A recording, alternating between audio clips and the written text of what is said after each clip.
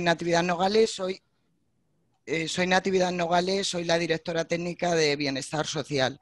Y esta mañana contamos con esta mañana eh, contamos con la presencia de la tercera teniente alcalde del área de derechos de ciudadanía y concejala de bienestar social, eh, quien va a inaugurar las jornadas y las va a presentar. Yo creo que Raquel ya está conectada y Raquel, cuando quieras, que no. Ah, sí, ahora te veo. Ya te veo, Raquel, que no te veía. Cuando quieras, Raquel, puedes, puedes comenzar. Buenos días, Raquel. Muchas gracias. Hola, muy buenos días a todos y todas. ¿Me oís bien? ¿Sí? Bueno, pues muchas gracias y un placer poder estar con Es que no oigo, no estoy oyendo a nadie. ¿Se oye o no? Ah, es que oigo, oigo, oigo otros micrófonos.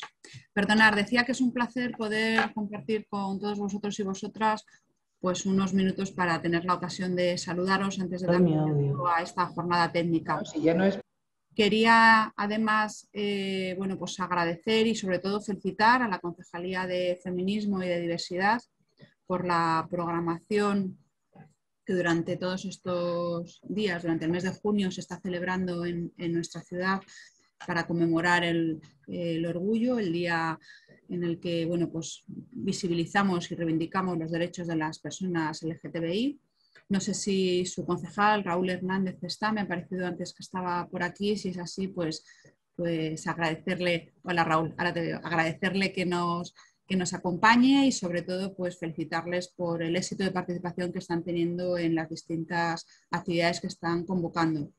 Con la jornada de hoy además hacemos pues un dos en uno, por así decirlo, porque desde la Concejalía de Bienestar Social hemos querido aprovechar esta conmemoración de de los derechos de las personas LGTBI con, la conmemoración también del Día del, Refugiado, que sabéis que es el próximo domingo, el 20 de junio, y lo hacemos pues, bueno, a través de, la formación a profesionales y, que en el ámbito de los servicios sociales o, de las distintas entidades o instituciones estáis interviniendo con, con la ciudadanía. Para nosotros esta jornada técnica es muy importante porque siempre hemos pensado desde el Ayuntamiento de Fuenlabrada que mm, formar a los profesionales mejora la intervención social y la atención a los vecinos y vecinas, a los ciudadanos en general, y por ello hemos querido, pues, en la mañana de hoy, acercar la realidad de las distintas situaciones de discriminación que surgen las personas refugiadas eh, que viven en nuestra ciudad o, en la Comunidad de Madrid, o con carácter general, pero especialmente lo vamos a enfocar a, nuestra ciudad, ¿no? las situaciones de discriminación que viven las personas refugiadas en sus países de origen por ser eh, del colectivo LGTBI y eso les hace incluso tener que abandonar sus países de origen por las situaciones de acoso, de discriminación que, que, están sufriendo. No debemos olvidar que todavía a día de hoy, en el año 2021, existen más de 70 países que criminalizan a este colectivo y que, y que incluso algunos de ellos tienen hasta reconocida la, la, pena, la pena de muerte. La condición de refugiado además tiene sus peculiaridades y sus singularidades que hay que atender y yo quería aprovechar también, si me permitís, este, este momento para agradecer y reconocer también el trabajo que los distintos colectivos sociales hacen en nuestra ciudad con las personas refugiadas. El Ayuntamiento de Fuenlabrada tenemos convenio con tres entidades sociales, con Cruz Roja, con CEAR y con Pinar de Naranjoven, que tienen programas específicos de apoyo y de atención a las personas refugiadas que llegan a esta ciudad. Así que también a estas entidades, que sé que algunas estáis participando de las jornadas, agradeceros y reconoceros el trabajo que venís haciendo todos los días en, nuestra ciudad. Y nada más, simplemente desearos que esta jornada sea productiva, que la encontréis interesante y sobre todo que nos acerque un poquito más a, a construir ciudades inclusivas y donde todos y todas tengamos un espacio para convivir desde el respeto. Muchas gracias y un saludo para todos y todas.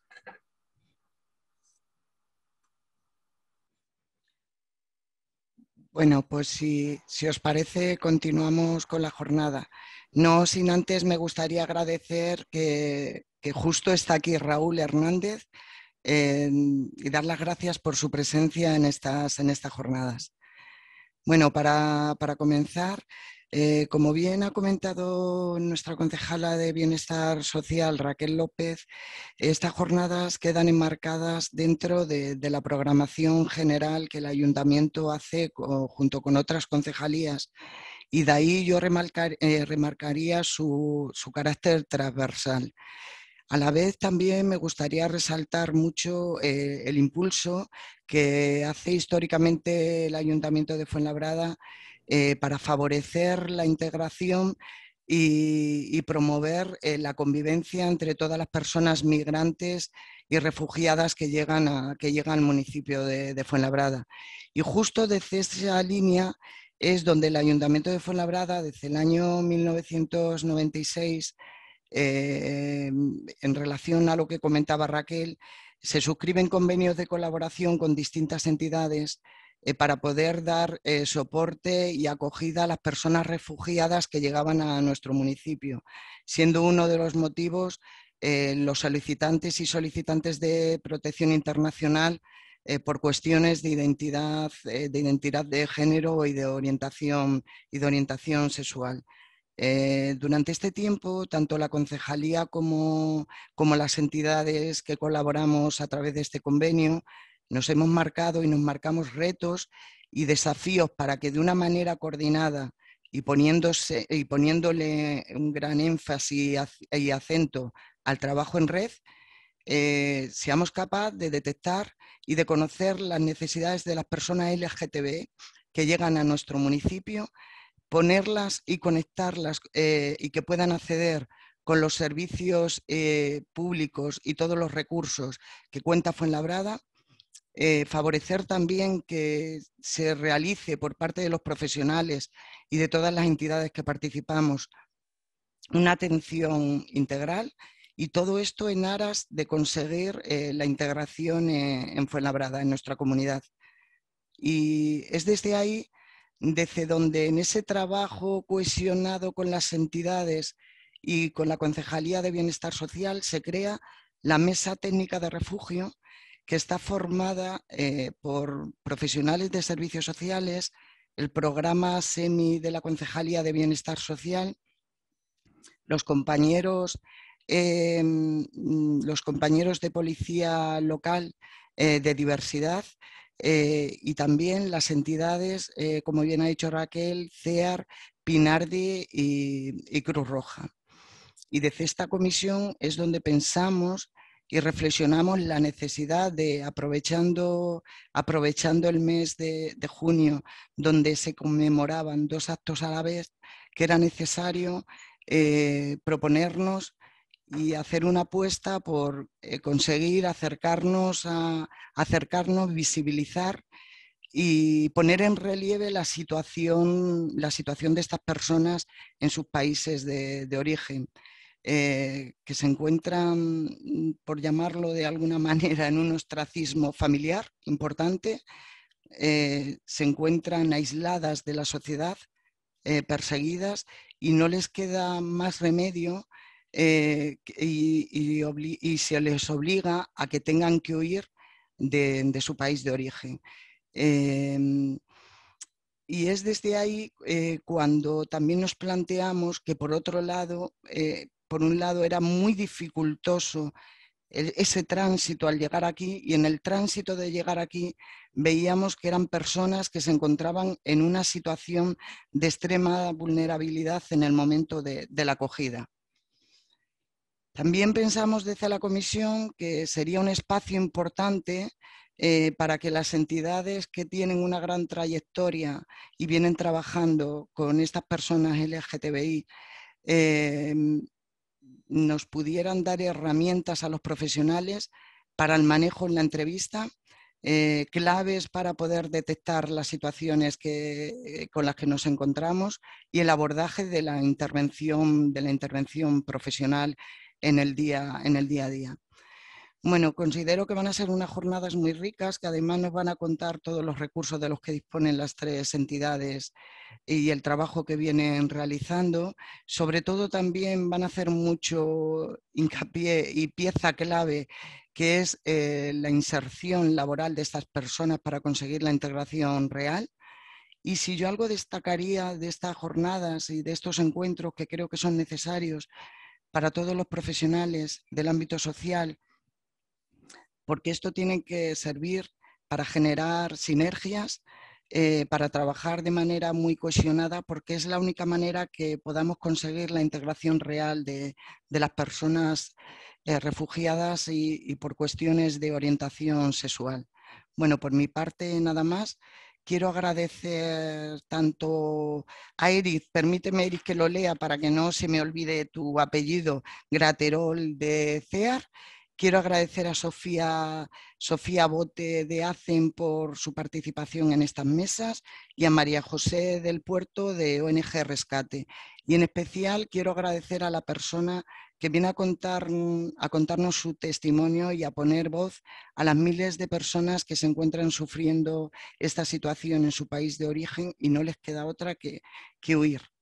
Eh, muchísimas gracias eh, y ahora os dejo ya con, Rosa García, que es la coordinadora del programa SEMI de la Concejalía de Bienestar Social, que es quien va a moderar la mesa, a presentar los ponentes y, nada más. Buena mañana y espero que la disfrutéis. Gracias. Muchas gracias, Nati. Eh, bueno, eh, vamos a pasar directamente ya a presentar la mesa. Como ha comentado Nati, mm, parte este, esta sesión parte de una mesa técnica en la que están CEAR, Cruz Roja, y, pero además hemos contado con otras dos entidades que no están directamente colaborando en el municipio, pero que trabajan directamente con población LGTB o con personas LGTB, que son la ONG Rescate y hacen. Nos contarán también qué recursos y a qué recursos podemos recurrir. Eh, de CEAR, la primera intervención va a partir de CEAR, Eric Gaterol, que es técnico de educación de, de ciudadanía global en CEAR mm, Madrid. Paralelamente está desarrollando su doctorado en cuestiones de género y es miembro del Seminario de Estudios LGTBIQ de la Universidad Complutense de Madrid. Además, ha trabajado, ha liderado un proyecto de sensibilización en igualdad y diversidad sexual y de género además de brindar asesoramiento legal y psicológico a personas LGTB. También trabajó como educador de calle en el programa de atención del Ayuntamiento de Madrid a hombres cisexuales y mujeres transexuales que ejercen prostitución y como educador del programa sociosanitario a mujeres transexuales en riesgos de exclusión impartición de talleres sobre identidad de género, orientación sexual y desmitificación de estereotipos de género. Bueno, con este currículum, Eric, yo creo que nos vas a dar un maravilloso panorama. lo que él va a abordar es el panorama mundial en relación mm, a la discriminación de las personas LGTB, por qué huyen de sus países, qué les pasa al llegar a España, y un poco el marco normativo de la Comunidad de Madrid hacia este colectivo. Te dejo ya la palabra. Muchas gracias. Em, bueno, mm, es más todo lo que suena que lo que es. o sea, que, dentro de la humildad eh, yo sigo aprendiendo de, todo y esto además es un panorama que sigue eh, evolucionando y cambiando con, los tiempos, vamos. Eh, si os parece bien, voy a bueno, no tengo la posibilidad de compartir la, pantalla. Quería proyectar un, PowerPoint, no sé si os parece bien. Eh, no sé de qué manera puedo, puedo hacerlo. Eh, no sé si, tenéis que habilitarme o algo para, poder compartirlo. Lo que pasa es que me dice que, la persona, el anfitrión inhabilitó la función de compartir las pantallas de los participantes quizá tienes que habilitarlo tú. Ya, ya estás. ¿Ya está? Sí. Vale, perfecto. Fenomenal, muchas gracias. ¿eh? Un segundito. ¿Podéis, ¿Podéis ver mi, mi pantalla? Perfectamente. Sí, estupendo. Vale, perfecto. Bien, bueno, eh, como, se ha, como, se ha dicho, como se ha dicho Rosa, yo trabajo en, la, Comisión Española de Ayuda al Refugiado.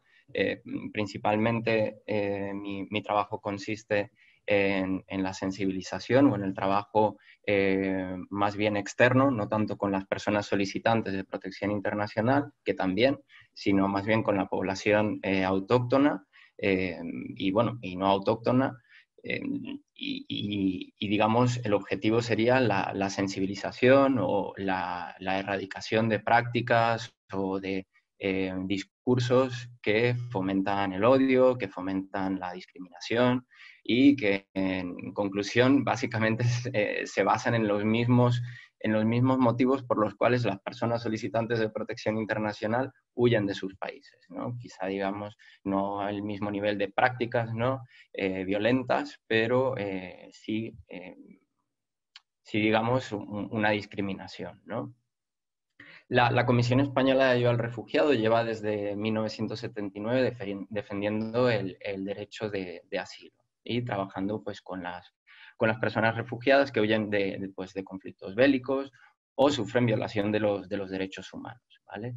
Em, yo me voy a centrar principalmente en, en uno de los motivos, ¿no? Mm, por así decirlo, eh, el, motivo ¿no? del que parte esto, el, el, digamos, la orientación sexual y la identidad de género. ¿no? Eh, la identidad de género en un sentido muy amplio.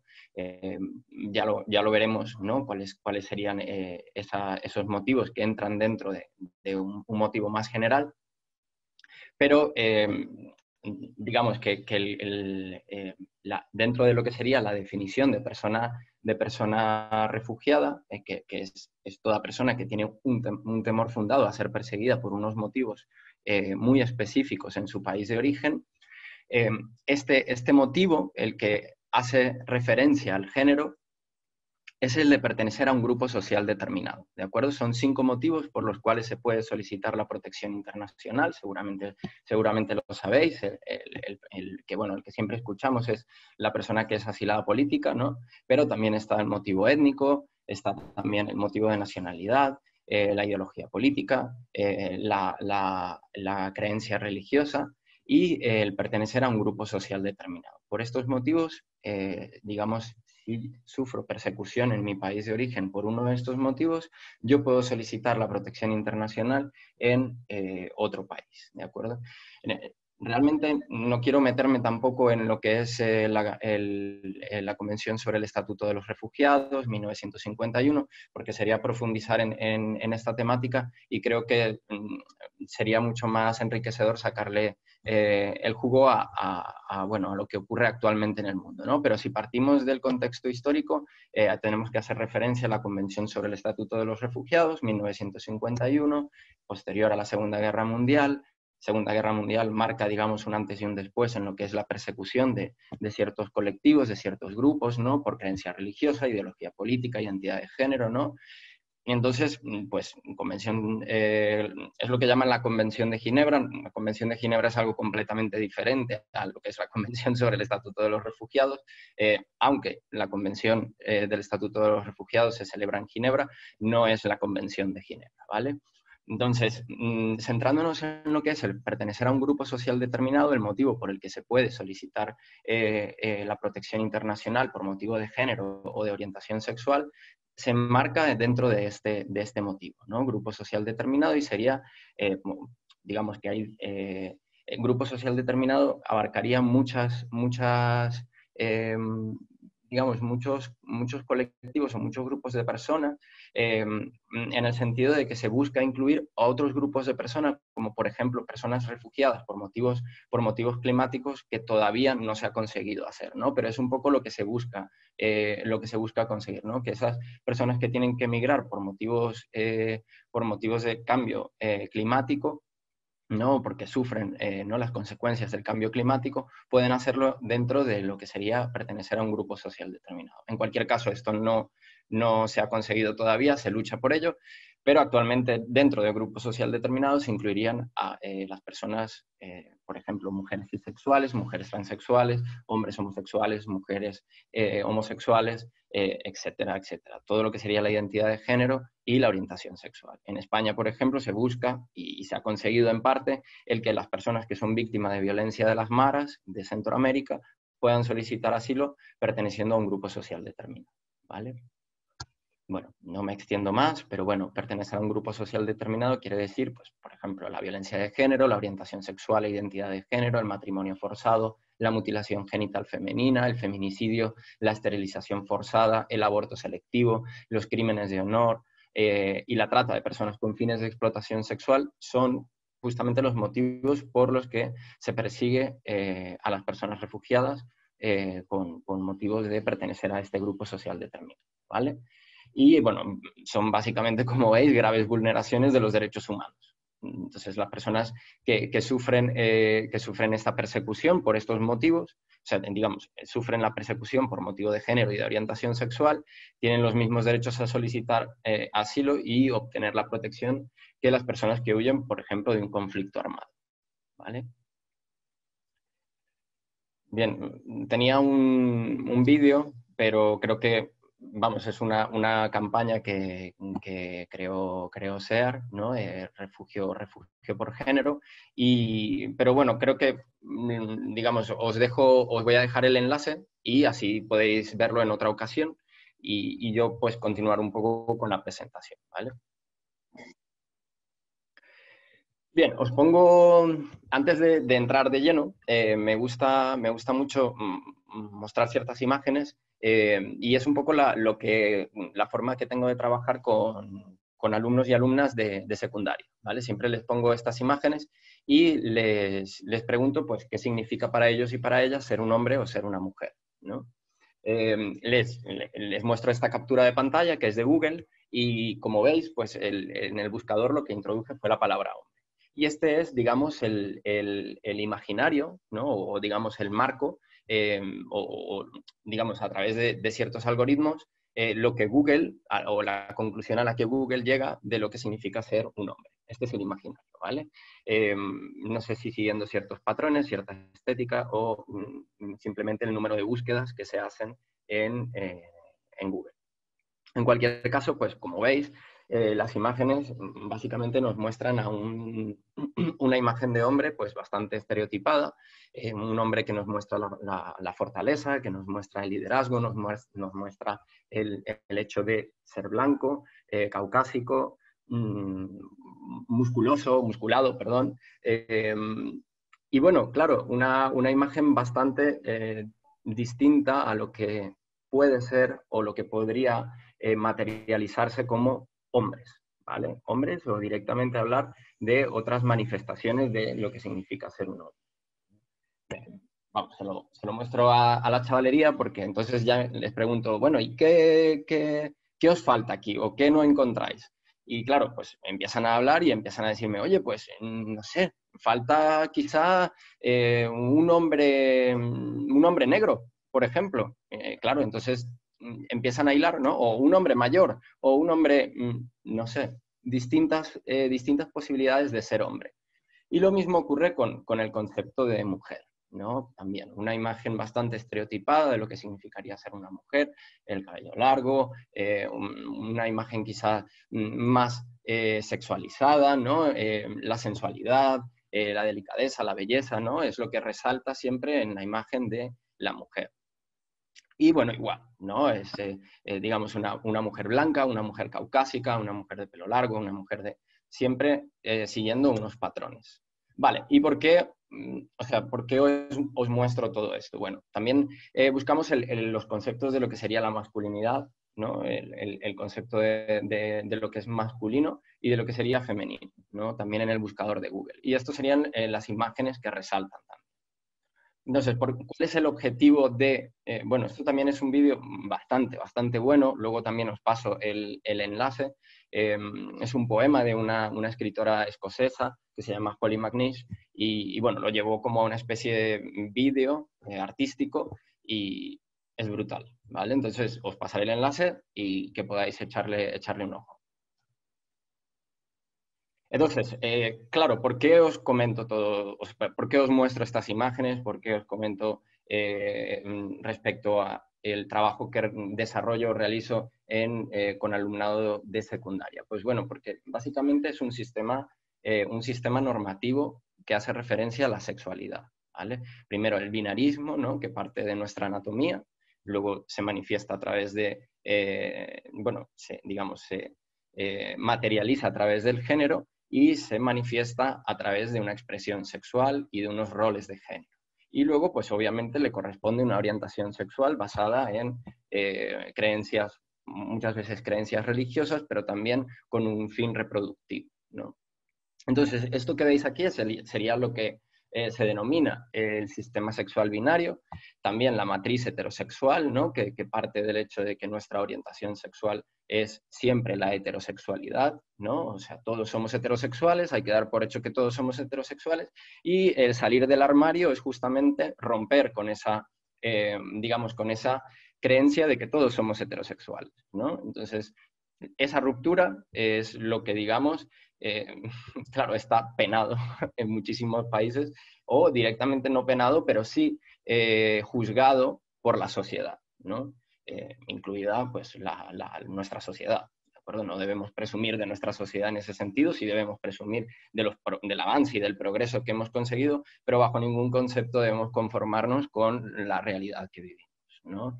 porque dista mucho de lo que sería esa utopía en la que pues hay eh, realmente una libertad respecto a las personas del colectivo LGTBI.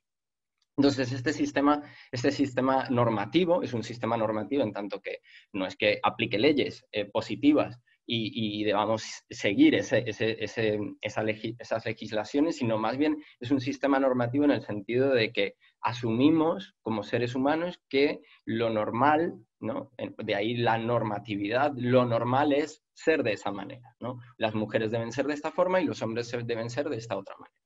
Eh, claro, eso implica eh, un, sistema en el que, en el que claro, eh, si yo eh, soy de otra forma, que no encaja dentro de ese sistema, pues si existen unas leyes positivas que dicen que si al no encajar en ese sistema mi cuerpo o mi manera de ser está prohibida, pues es lo que ocurre en muchos países y es el motivo por el que muchas personas deben huir a otros países para, eh, digamos, vivir con una mayor libertad. Y es el motivo por el que las personas solicitan protección internacional por motivos de género porque los sistemas normativos de sus países, ya sea a través de leyes positivas o a través de, este, eh, esta presión social, de este ejercicio de la norma a través de la sociedad, eh, no les permite vivir en libertad. ¿De acuerdo? Libertad en el sentido de expresar su género, de eh, tener una orientación sexual completamente distinta a la orientación sexual normativa, que sería esta heteronormatividad, y manifestar su género en, digamos, de manera distinta a la que le asignaron en, el momento de nacer. ¿De acuerdo? Eh, ¿Por qué? Porque al final parte, el género parte de esa asignación en base a una anatomía determinada, una asignación de un género, normalmente binario, ¿no? Hombre o mujer, pero no hay más posibilidades.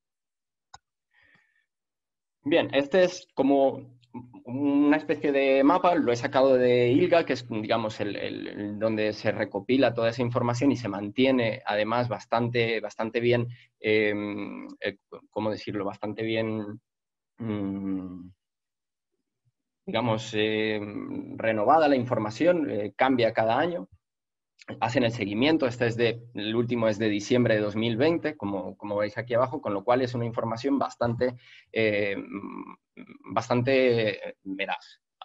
Entonces, eh, aquí tenemos los países desde, desde seguramente habéis echado ya un ojo a este, a este, a este mapa en algún momento de, de, vuestras, bueno, de vuestra trayectoria. Y si no, os paso también el enlace para que podáis entrar a la página.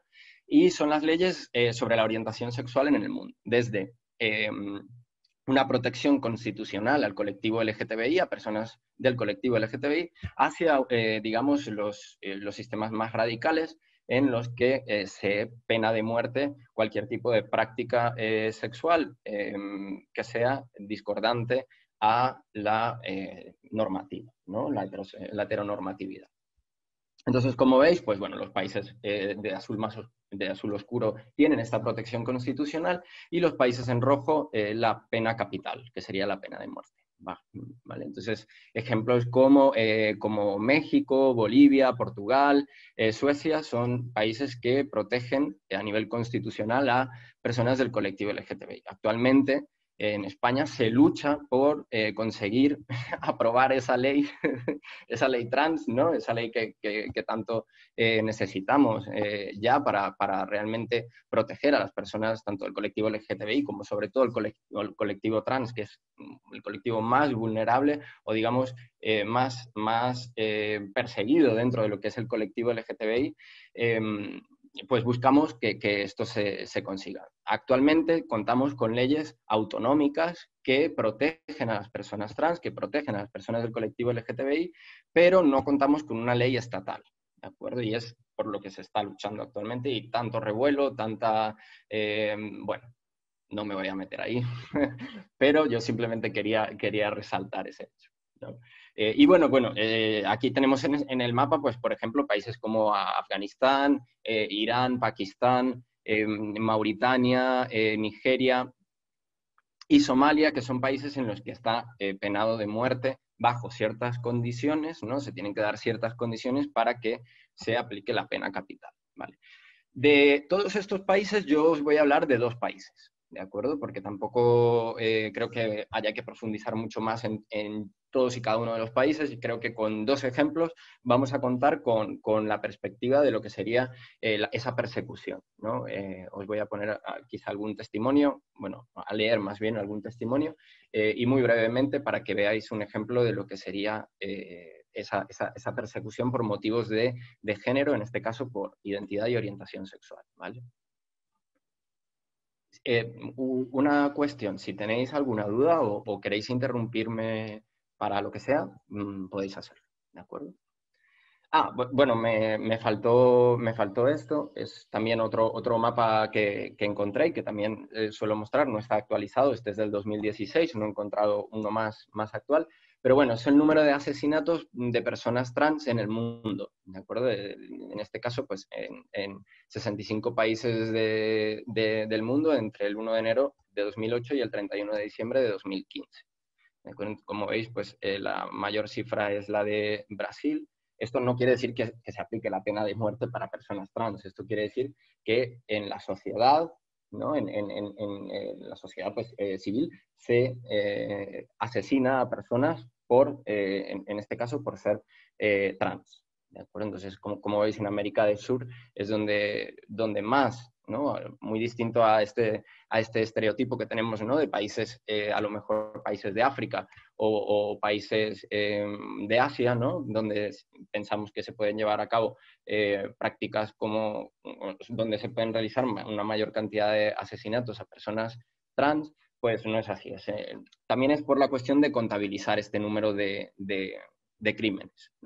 probablemente en América, en América del Sur y en América Central se contabilicen mucho más los crímenes por este motivo ¿no? y se tenga un registro de ello. Perdonadme. Bien, pues como os decía, voy a poneros dos ejemplos. Uno va a ser Honduras y El Salvador y el otro va a ser eh, Irán, ¿de acuerdo? Respecto a su legislación y respecto al tipo de prácticas que se realizan y el motivo por el cual las personas deben huir de estos países por eh, motivos de género y de, identidad de género y de orientación sexual. Entonces, bueno, en, Honduras y en El Salvador os voy a poner, eh, os, voy a, os voy a leer una, cita de una, de una publicación que realizamos Em, en, bueno, es, un, libro de testimonios. Eh, el libro se llama Nuestra, Nuestra guerra son las, son las, son las maras. Y eh, bueno, este es el testimonio de, dos, de una pareja, una pareja de, chicas, en la que eh, bueno, fueron perseguidas por las maras por, por, por, justamente ser pareja, ¿no? por ser dos mujeres lesbianas. Entonces, os, os, leo la cita, empezaron, y, empezaron a eh, llegaron amenazas por carta, por teléfono, y después llegaron a casa, tiraron la puerta y nos dieron 24 horas para pagar o nos matarían. A vosotras, a vuestras madres, a tus tías, a todos. O bien te vienes con nosotros y sos la mujer del jefe, le dijeron a Camila, eh, dice el jefe que te va a enseñar lo que es ser mujer, que sos marimacha porque no habéis probado a un buen hombre. ¿Vale? Esto es, eh, digamos, lo que le, digamos, la amenaza que le llegaron a, esta pareja, ¿no? Le llegó a, Camila por, eh, por, ser una mujer lesbiana, ¿no? Y, em, digamos, en, Honduras, em, ahí tenéis este, este, digamos, este, esta frase, ¿no? en la parte de arriba, eh, haz patria, mata a una lesbiana y a un gay. Em, en realidad la frase original es haz patria, mata a un comunista eran como las, eh, los grafitis que se veían en, Honduras em, cuando era pues, bueno, el, conflicto ¿no? que se daba entre la extrema derecha y la extrema izquierda, ¿no? y, el hecho de matar a un comunista pues, significaba hacer, hacer patria. Las maras, ahora os voy a explicar lo que, lo que son las maras, las maras de, en este caso de Honduras, escriben esto también eh, a través de un graffiti, ¿no? En las, en las, paredes, las pintadas, para marcar justamente el hecho de que pertenecer al colectivo LGTBI es algo eh, que, digamos, en Honduras no está permitido. ¿vale? En este caso, el ejemplo son eh, eh, de Andrea y Camila, ¿no? que, bueno, que pudieron huir de, Honduras a, España y, bueno, como mujeres, como mujeres lesbianas tuvieron que, que, escapar de la violencia de las maras, ¿no? Eh, ser asesinadas tras ser violadas y torturadas colectivamente y durante días es uno de los, de los rituales ¿no? de ingreso, de iniciación a, a, las maras. ¿De acuerdo? Digamos que una persona que eh, entra a las maras debe eh, cometer alguno de estos delitos para poder ingresar. ¿De acuerdo?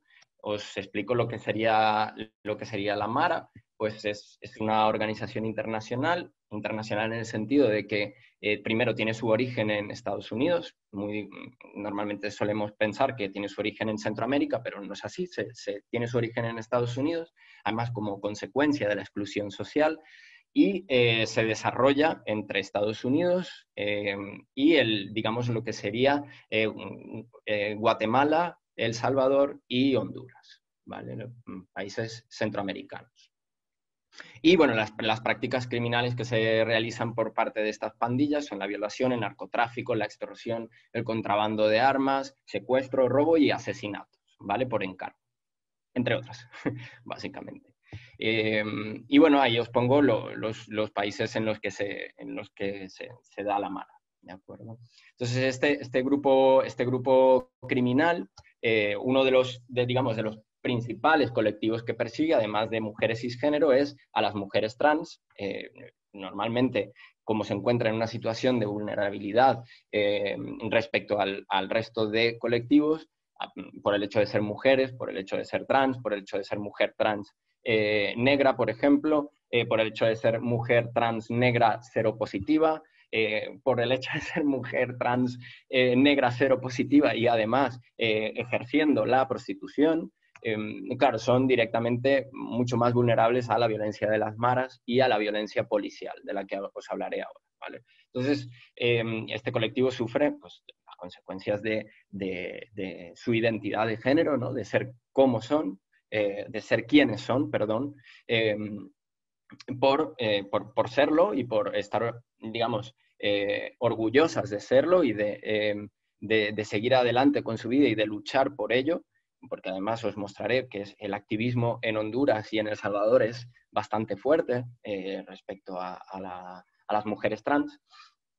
Eh, bueno, pues digamos, sufren la persecución de las maras, ¿no? Es uno de los, motivos. Además, eh, tienen los tatuajes, como veis en estas imágenes, muchos de esos tatuajes representan las personas que han asesinado, ¿de acuerdo? Si, si vais teniendo dudas, por favor, preguntadme, ¿de acuerdo? Bien, la violencia policial en Honduras y El Salvador. Es también, digamos, que, no solamente las maras, sino las personas del colectivo LGTBI no solo se tienen que enfrentar a la violencia de las maras, sino también a la violencia policial. ¿no? Eh, violencia policial en el, siguiente sentido.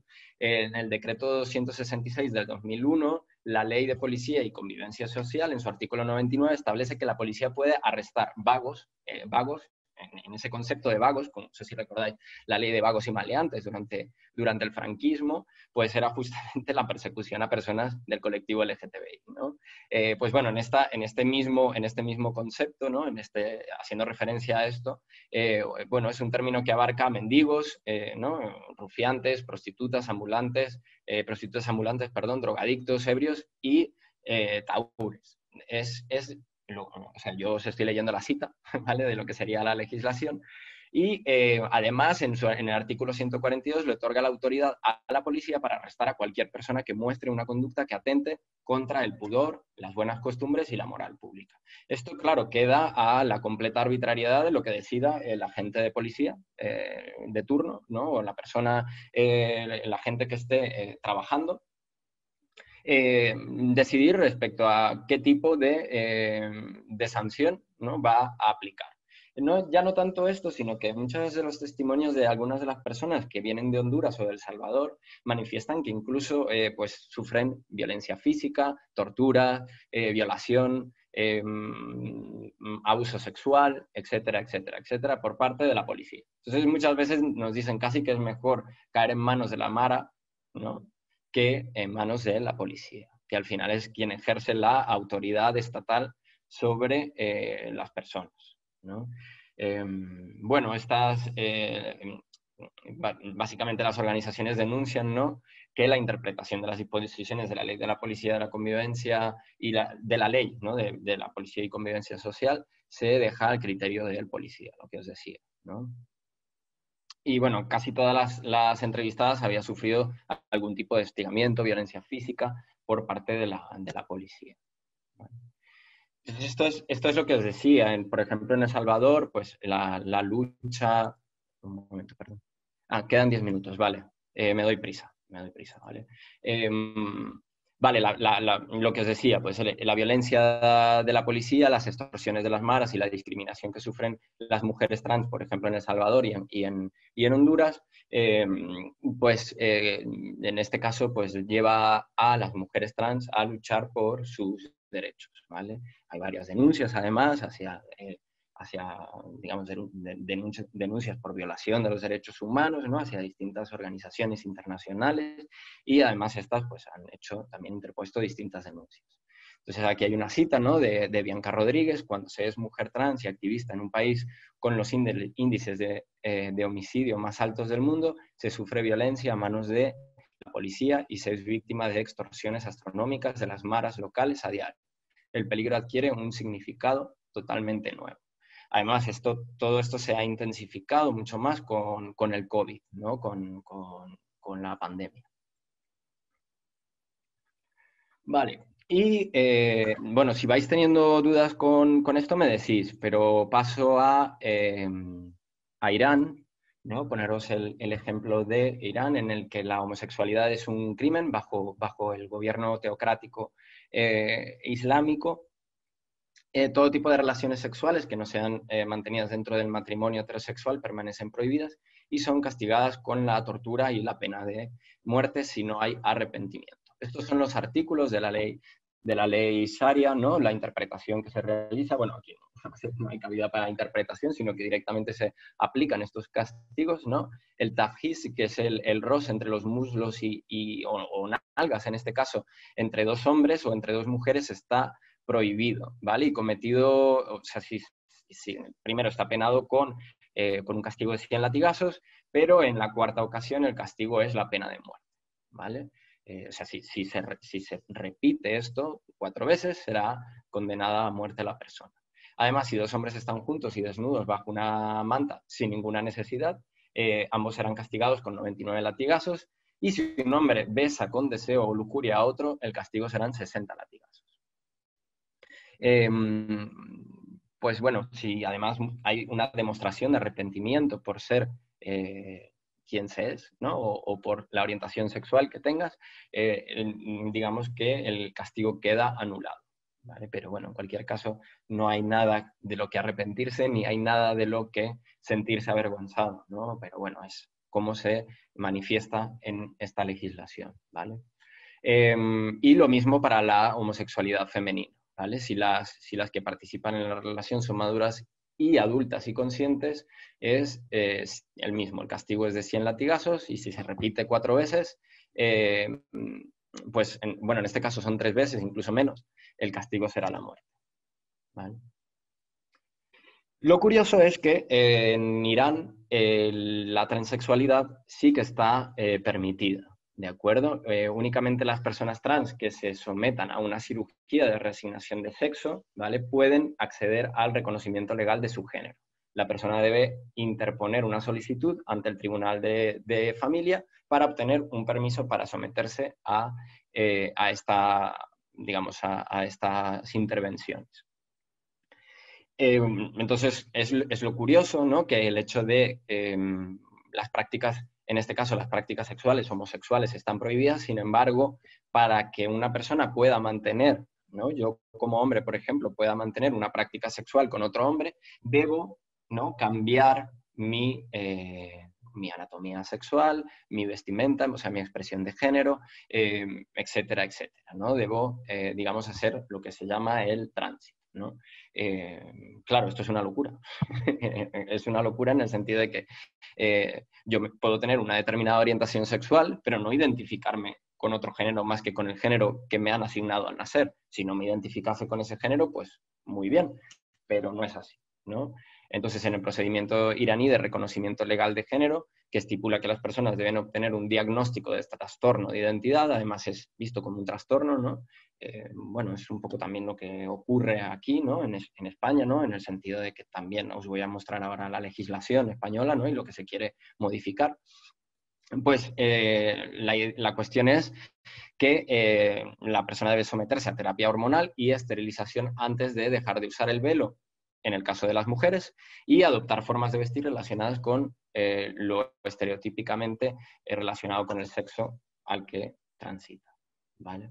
Bueno, cierro lo que serían ejemplos de países en los que tanto eh, la identidad de género como la orientación sexual no normativa eh, está penado y paso a lo que sería el contexto de, eh, España. Una pincelada muy rápida. ¿Cuánto tiempo, ¿De cuánto tiempo dispongo más o menos? ¿Unos cinco minutos quizás? O me, doy prisa, ¿vale? Estas serían las dos leyes de la Comunidad de Madrid. ¿de acuerdo? Voy a hablar principalmente de la Comunidad de Madrid, es donde, estamos, eh, pero antes quiero hacer referencia a la Ley 3-2007 del 15 de marzo, que es la reguladora de la rectificación registral del sexo de las, de las personas, ¿vale? Entonces, para poder modificar el nombre y el género en el registro, Primero hay que tener un diagnóstico de disforia de género mediante un informe médico o psicológico que eh, deberá hacer referencia a la existencia de una disonancia entre el sexo morfológico inicialmente inscrito y la identidad de género sentida por el solicitante o la solicitante. ¿vale? Así como la estabilidad y persistencia de esta disonancia. Se clasifica como una disonancia, ¿no?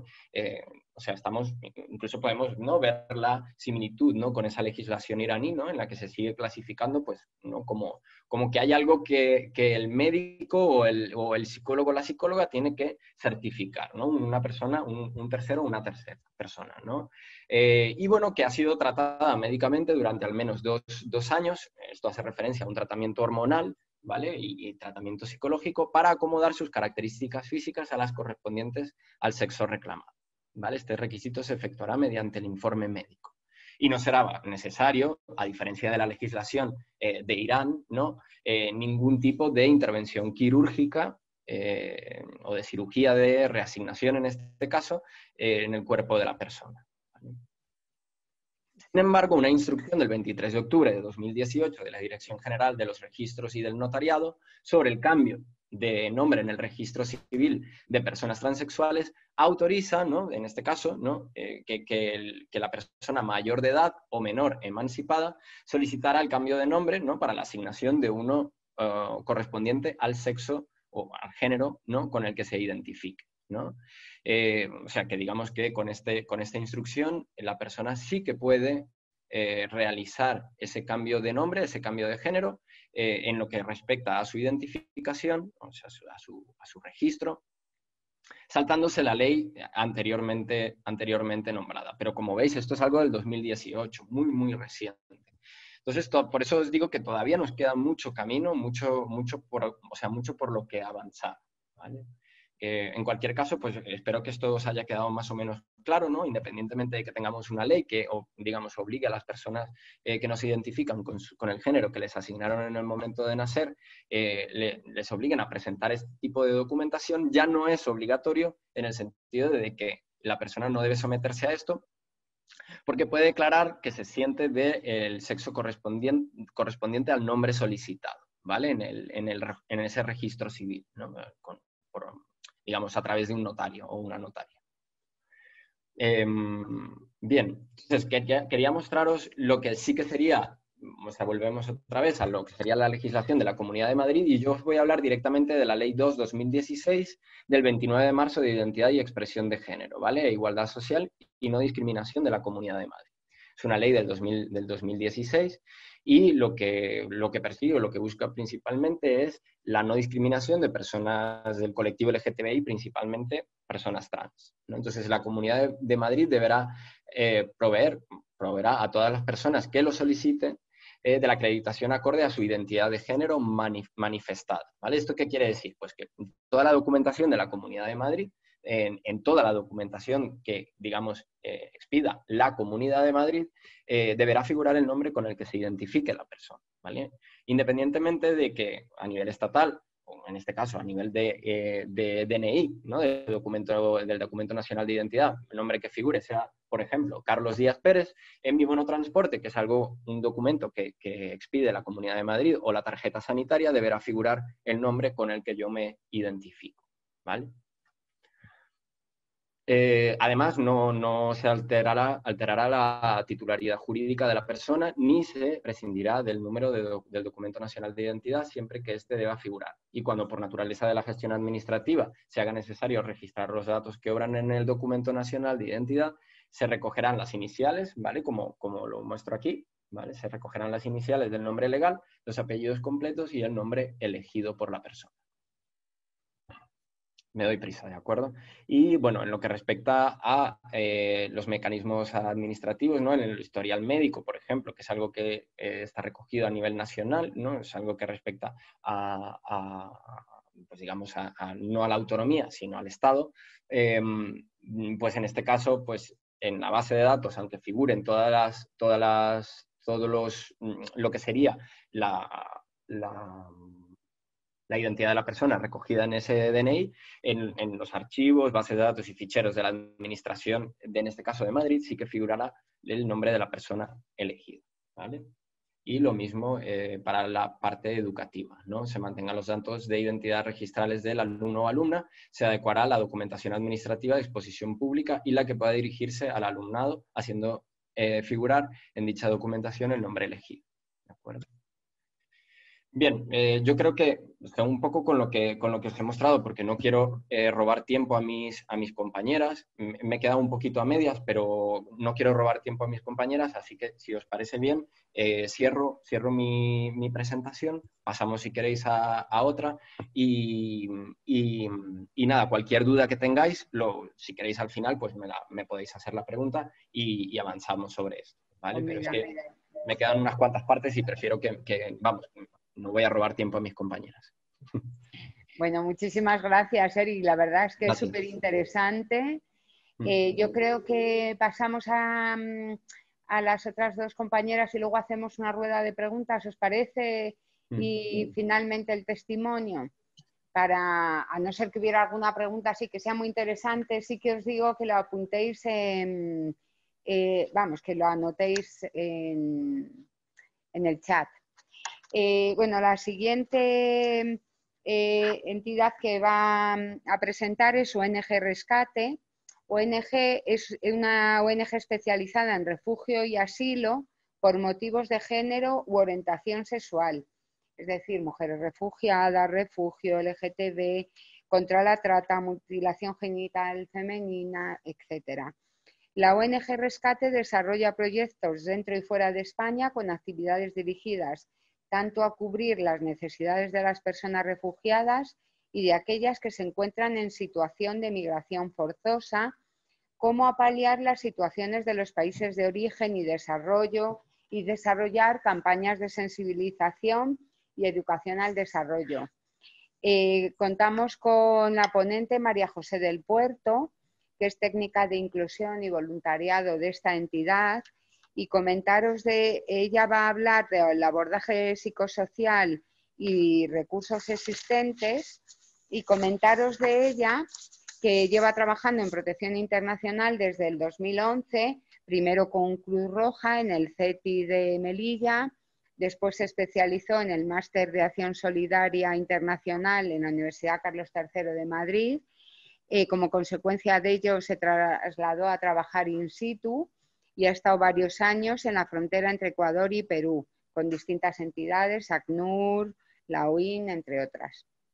Trabaja en rescate desde el 2018, realizando distintas funciones como trabajadora social, en pisos de acogida, en atención y seguimiento de punto de refugio y actualmente con jóvenes entre 15 y 24 años que tienen la protección concedida por este motivo. Muchas gracias, María José. Te damos la palabra. Muchas gracias. Nada, agradeceros a vosotros por la invitación y como Eric voy a intentar compartir la pantalla.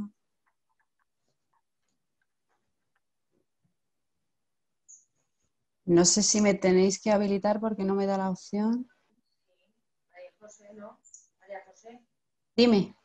Sí, sí te he habilitado, ¿eh? Sí, a ver, espera, que igual no sé yo, ¿eh? María José, no hay más. A ver. María José del Puerto. puesto María José solo.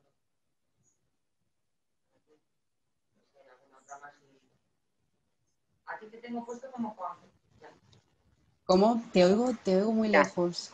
Ya está, perfecto. Ya la estamos viendo, María José. Sí lo veis, ¿no? Vale, genial. Quitamos el sonido para no interferir. Vale, muchas gracias.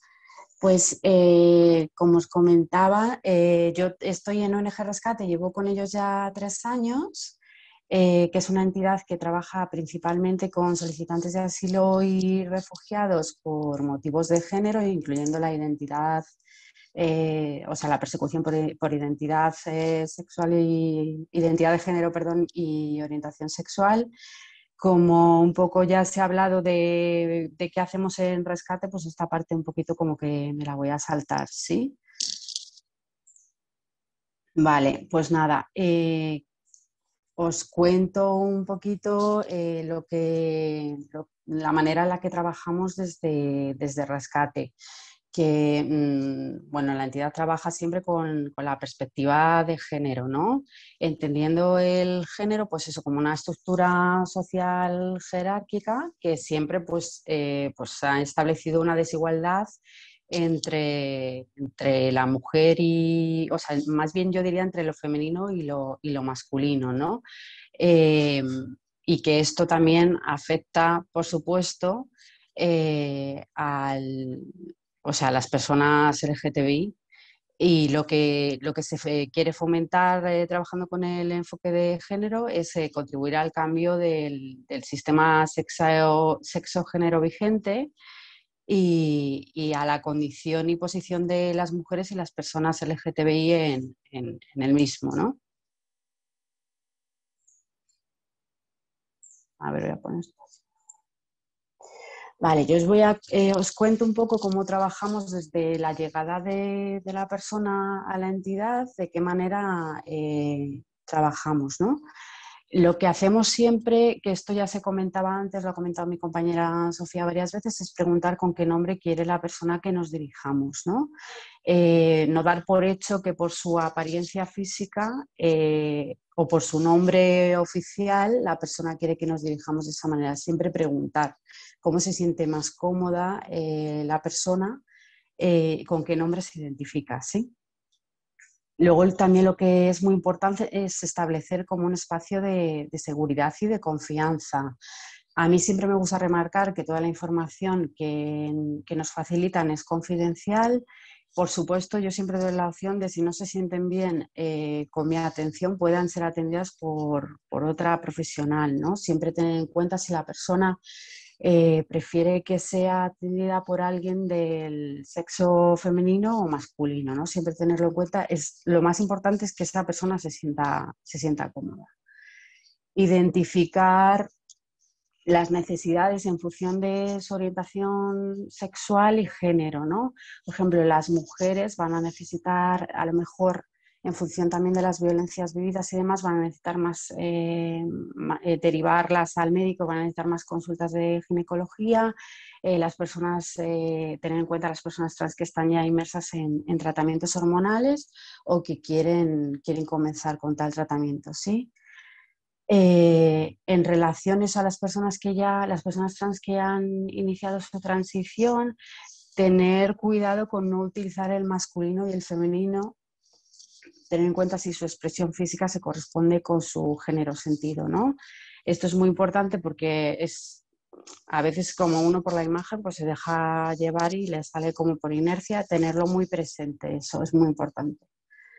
Transmitir siempre la información de, de la entidad eh, para que la persona eh, no se sienta juzgada y se sienta acogida y es importante que conozca bien eh, dónde está. Se dan muchas veces los casos de personas que han sido atendidas en sus países de origen por instituciones o por entidades que luego han filtrado informaciones. Entonces muchas veces la gente viene como con miedo a, hablar y manifestarse tal y como es, ¿no? Entonces esto como, como repetir en varias ocasiones, eh, pues eso, el tema de la confidencialidad, que es un espacio seguro, para que la persona pues se sienta bien y se sienta libre de expresarse tal cual es.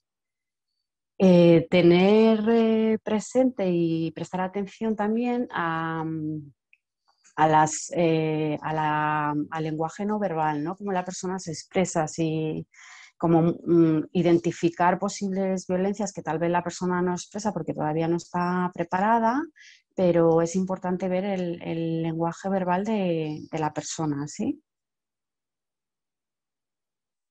A la hora de realizar la entrevista, es muy importante pues eso, aplicar la, perspectiva de género, ¿no? Por ejemplo, no dar por hecho que por yo estoy entrevistando a una mujer y que su pareja va a ser un varón. ¿No? Tener, eh, pues eso, tener en cuenta que hay muchas formas de, hay muchos tipos de unidades familiares y, que no, no, es solo una, la hetero y normativa la que nos podemos encontrar, sí, sino hacer eh, la pregunta pensando un poco en, todas las opciones existentes que hay, ¿no? No decir directamente, bueno, eh, si estás casada y la persona te dice que sí, tu esposo, no, pues un poco de tu pareja, eh, cómo se llama, tal, un poco la pregunta más abierta, ¿no? No obligar a, responder algo que no quiere, ¿no? Como mm, yo diría más bien como no forzar los, los tiempos de la persona. Eh, por lo que os comentaba a veces por Em, por estas malas experiencias que han tenido en países de origen, de, información filtrada y demás, la persona no se siente segura de poder eh, compartir ciertas, ciertas historias o ciertas cosas que le están ocurriendo. Entonces es muy importante dar, dar tiempos y también eh, explicarle a la persona para qué queremos esa información. Si necesitamos hacer un informe porque necesitamos tramitar cualquier tipo de, no sé, de recurso de alojamiento, por ejemplo, y necesitamos realizar un informe, es muy importante que le expliquemos a la persona eh, con qué objetivo se va a hacer ese informe, a qué persona se va a enviar. Eh, yo suelo comunicarles siempre cuando, bueno, suelo y creo que se debería hacer, el comunicar siempre a la persona los trámites que se, que se han acordado y, con quién voy a contactar en ese momento, a qué entidad y para qué, con qué objetivo, ¿no? Para que la persona en todo caso eh, pues sea dueña de su proceso y por supuesto si ella en algún momento no quiere, no está preparada, pues respetar sus momentos, ¿sí? Tener en cuenta que no todas las personas logran identificarse desde un principio con una identidad o una orientación, entonces tampoco forzar eso, ¿no? Dejar que, la persona, pues eso, que tenga su propio proceso y que cuando se sienta preparada, si es que en algún momento se identifica, no tiene por qué hacerlo, pues estupendo, si no, pues no, no tiene por qué identificarse, ¿no? Eh, apoyar con, la construcción de, género. ¿Por qué digo esto? Porque tendemos a ver como personas, eh, sobre todo yo diría las personas trans, que mm, las mujeres trans eh, como que la imagen que tienen de la feminidad, ¿no? Es este, eh, esta imagen súper sexualizada y súper feminizada, que hay que respetar el proceso, por supuesto, porque hay que entender que es como su primer momento, por así decirlo, de liberación en el que por fin pueden ser ellas mismas y, necesitan experimentar con, pues eso, con esa parte. Eh, luego mostrar muchos tipos de feminidad y de masculinidad, ¿no? No, es mm, todo como, pues como decía Eric, ¿no? Como los estereotipos de lo femenino y lo masculino que siempre nos han, nos han enseñado, mostrar y hacer ver eh, que hay muchos tipos de feminidad y de, y de, masculinidad y que la persona se sienta cómoda y se, se adapte a lo que, a lo que ella se identifica, ¿no? Em, el manejo de la soledad y crear espacios para, para ellas, porque hemos, sobre todo hemos visto en, rescate que, mm, claro, por toda la violencia vivida, todas las situaciones, estas personas eh, tienden a, aislarse un poco, a sentirse muy solas, a no mm, como costarles mucho la vinculación con, con otras personas y a, como a integrarse, ¿no? Entonces hay que tener un poco cuidado con apoyarles en el proceso de integración y apoyarles con, con eso, con, salir un poco de esa soledad y ese aislamiento, porque hemos detectado que eso luego puede generar vínculos eh, perjudiciales y yo me atrevería a decir hasta tóxicos en plan pues con parejas que un poco como por el miedo a la soledad, a veces, eh, pues eso, acaban en, este tipo de vínculos y relaciones de, dependencia, ¿no? Un poco empoderar a la, persona y, eso, y fomentar su integración es muy importante, ¿no? Porque a veces nos centramos más como en las ayudas, en, las, en la cobertura de las necesidades básicas, que por supuesto es fundamental, pero que hay que trabajar en, todo el tema de la integración desde el principio, ¿no? También cuando eso, cuando la persona se sienta preparada para hacerlo, pero que es muy importante.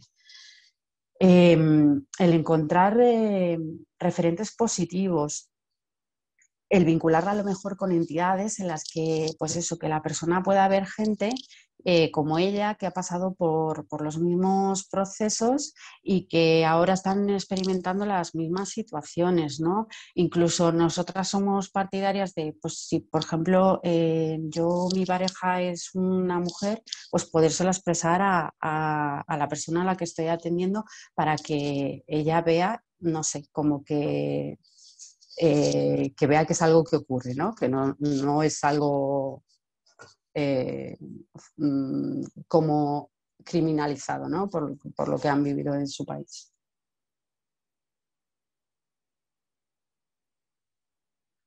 Luego hemos visto desde un poco desde el ámbito más laboral y, de formación que las personas eh, muchas veces eh, han llegado a, España eh, gracias al aporte económico de los familiares. Es muchas veces la propia familia la que ha reunido dinero para que esta persona pueda viajar. Entonces, eh, muchas veces estas personas llegan aquí un poco con este sentimiento de culpa y un poco con ese sentimiento de, de obligación de devolver el dinero que la familia ha aportado, ¿no? Porque incluso a lo mejor la familia ha aportado un dinero y luego están en, situación precaria allí.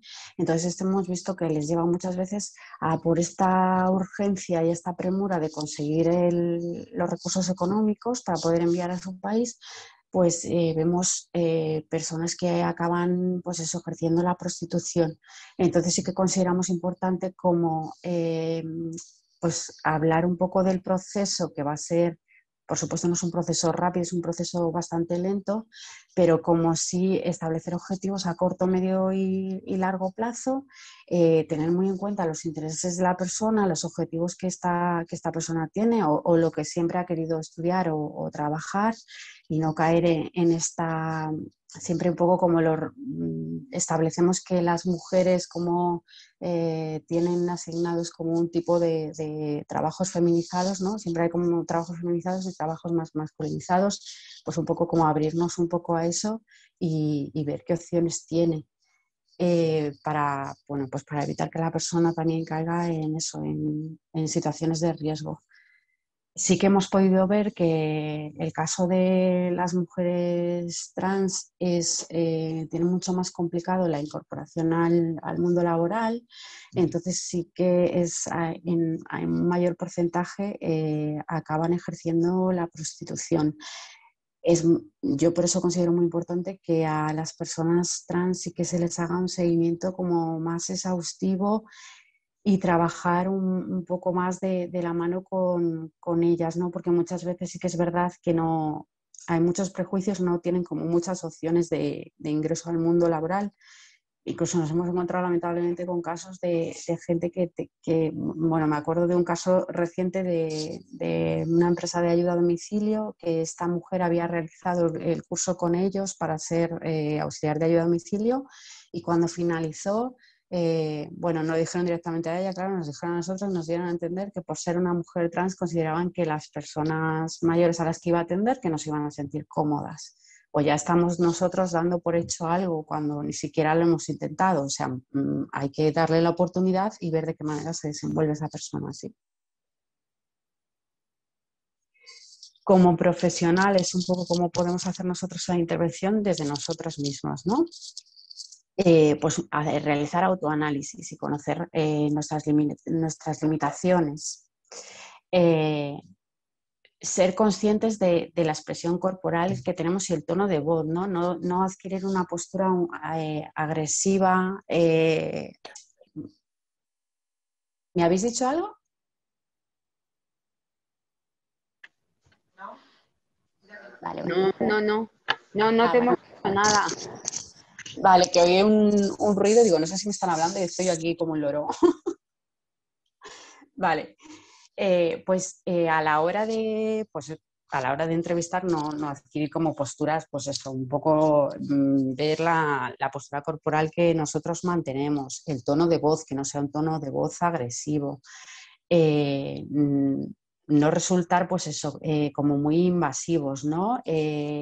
El tema del contacto físico, yo sé que, bueno, muchas veces tendemos a, pues la persona a lo mejor eh, rompe a llorar y un poco el ir a tocarla. Pues evitar eso, ¿no? Evitarlo si la persona eh, no lo demanda, por así decirlo, evitarlo, ¿no? Por todos los medios, no hacerlo. Em, nuestra comunicación no, verbal, ¿no? Lo que decía, el tema del contacto físico, conocer el historial de la persona es súper importante para evitar revictimizar, ¿no?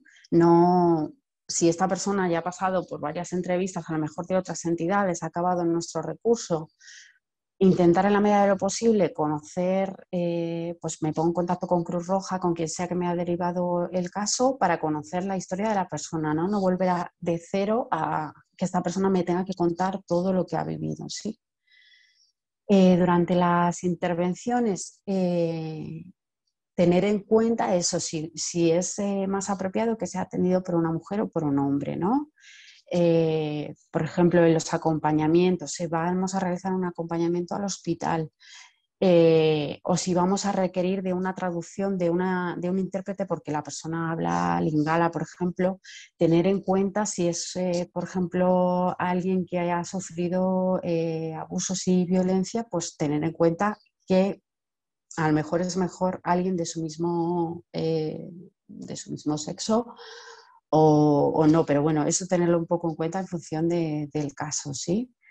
Eh, trabajar en un en equipo multidisciplinar, es decir, si se pueden hacer intervenciones conjuntas y a lo mejor trabajador social, trabajadora social, psicóloga, tal, pueden hacer una intervención a la vez para evitar revictimizar y que esa persona no cuente su historia en repetidas ocasiones, sino que a lo mejor una misma intervención se puede realizar eh, de manera conjunta, pues a la medida de lo posible también hacerlo, ¿no? Y mm, la coordinación entre, entre profesionales fundamental, por reunirse todos los, profesionales, eh, pues el área de empleo, el área social, el jurídico, el psicológico, todas las áreas que estén trabajando con la persona para trazar eh, una acción conjunta, por supuesto, con eh, el beneplácito de la persona y en función de las necesidades y de los objetivos de esa persona, pero no trabajar cada uno en función de lo que vamos viendo, ¿no? sino un poco aunar, porque también desde las diferentes perspectivas, desde a lo mejor las clases de español y demás, se pueden detectar unas necesidades que yo en el área social no estoy viendo. Entonces es súper importante como aunar eso, ¿sí?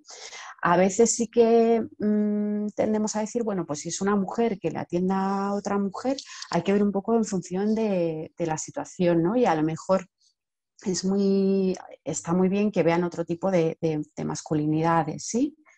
Que vean otro tipo de... Cinco minutos, vale, perdón, que me estoy enrollando voy, más rápido. Vale, esto si queréis os lo paso, ¿vale? Que son los proyectos que tenemos en, rescate, que tenemos seis pisos en acogidas, eh, eh, de acogida por razones de, de género. Y luego tenemos varios proyectos, ¿no? Que están, tenemos proyectos de empleo, tenemos un proyecto sin alojamiento eh, y luego tenemos también el proyecto de voluntariado en el que estoy yo inmersa, ¿vale? Para jóvenes entre 15 y 24 años. Todo esto os lo dejo por si queréis hacernos derivaciones, nosotras encantadas de la vida. Y aquí pone un poco el procedimiento, ¿no? Para hacer la derivación. Y luego os voy a hablar un poco para, terminar, pues de los recursos con los que principalmente nosotras trabajamos, ¿vale? Que si queréis también, pues toda esta información os, lo pasamos. Trabajamos con, eh, con, COGAN en la Comunidad de Madrid, que tienen, ellos tienen asesoría jurídica, psicológica, eh, tienen grupos de apoyo, tienen cursos de, educación sexual, entonces trabajamos con ellos, ¿vale? Luego tenemos Arcópoli, que es el Observatorio Madrileño contra la LGTB-fobia, y ahí puedes presentar denuncias si has sufrido algún tipo de discriminación o de agresión, ¿sí? Eh, en recursos de alojamiento trabajamos, eh, KIF, tiene cuatro plazas de acogida por emergencia, que es bueno saberlo por si alguna vez nos encontramos con alguna situación de alguien que se queda en calle. Eh, luego tenemos Fundación EDI que trabaja con jóvenes hasta 30 años, sí, que las derivaciones se hacen directamente desde cualquier entidad y Fundación 26 de Diciembre que trabajan con, personas, con adultos mayores. ¿sí? Tienen dos residencias para personas LGTBI, eh, una ubicada en Móstoles y la otra mm, creo que en Villaverde, pero no me hagáis mucho caso. Pero... Luego, en recursos, con los recursos de salud con los que trabajamos principalmente son con el Centro Sanitario Sandoval, que realizan pruebas de VIH y, e ITS todos los días, la persona puede acudir sin cita previa, simplemente hace cola en, pues tiene que ir tempranito, tipo 8 de la mañana, y te realizan la prueba, ¿sí? Trabajamos también con la unidad de identidad de género del Hospital Ramón y Cajal y con Salud entre Culturas, que Salud entre Culturas nos ayuda con la interpretación cuando son personas que no hablan el, castellano y necesitan acudir a, a alguna cita, ¿sí? Y trabajamos también con eh, apoyo positivo, que también hacen pruebas de VIH y de, ITS, y luego eh, trabajan mucho en temas de, educación eh, sexual. Básicamente estos son los principales con los que trabajamos. Entiendo que, bueno, nosotros, claro, estamos en, en Madrid, eh, me vais a perdonar, pero eh, desconozco un poco los, recursos eh, con los que contáis en, en, Fuenlabrada, pero vamos, estos funcionan bastante bien y son los que nos coordinamos bastante a menudo. Y luego comentaros si hay algún problema de acceso al sistema de salud, que nos estamos encontrando muchas veces con esto, pues Médicos del Mundo os puede apoyar. Igualmente, ellos tienen una unidad móvil que trabajan con personas que están ejerciendo la prostitución y cuando detectan algún caso de, pues, del colectivo y que pues, nos lo derivan directamente, trabajamos todo el tiempo en, coordinación y creo que también nos podrían apoyar a, a vosotros, ¿sí? Y nada más, que muchas gracias y no sé si he llegado justo al tiempo o no. Muchas gracias, María José. Bueno, te pediría que por lo menos la parte esta de los recursos, si nos las pudieras pasar para compartirlo con las compañeras. Sí, por supuesto. Bueno, por supuesto, sí, sí. Fenomenal. Vamos mm, a, a, grabar, estamos grabando esta mm, sesión para luego ponerla en YouTube. Pero bueno, yo creo que, mm, que por lo menos toda la parte de recursos y tal, para que la podamos distribuir, estaría muy bien. vale, sí. Yo os paso el listadito, ningún problema. Genial, María José. Yo creo que tú al final te a, mm, al final como haremos como una rueda de preguntas y tal, lo dejamos ya para ese momento. Y os voy a decir que hemos tenido un problema técnico y tenemos que desconectar durante un minuto para irnos a otra sala. Os, mm, os pido disculpas, pero volvemos en... Yo creo que yo no voy a desconectar esta sesión hasta que no tengamos conectada la otra, ¿vale?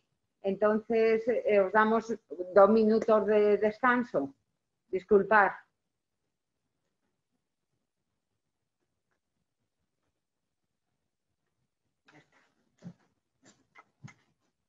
Ha solicitado asilo y necesita, y necesita un apoyo social.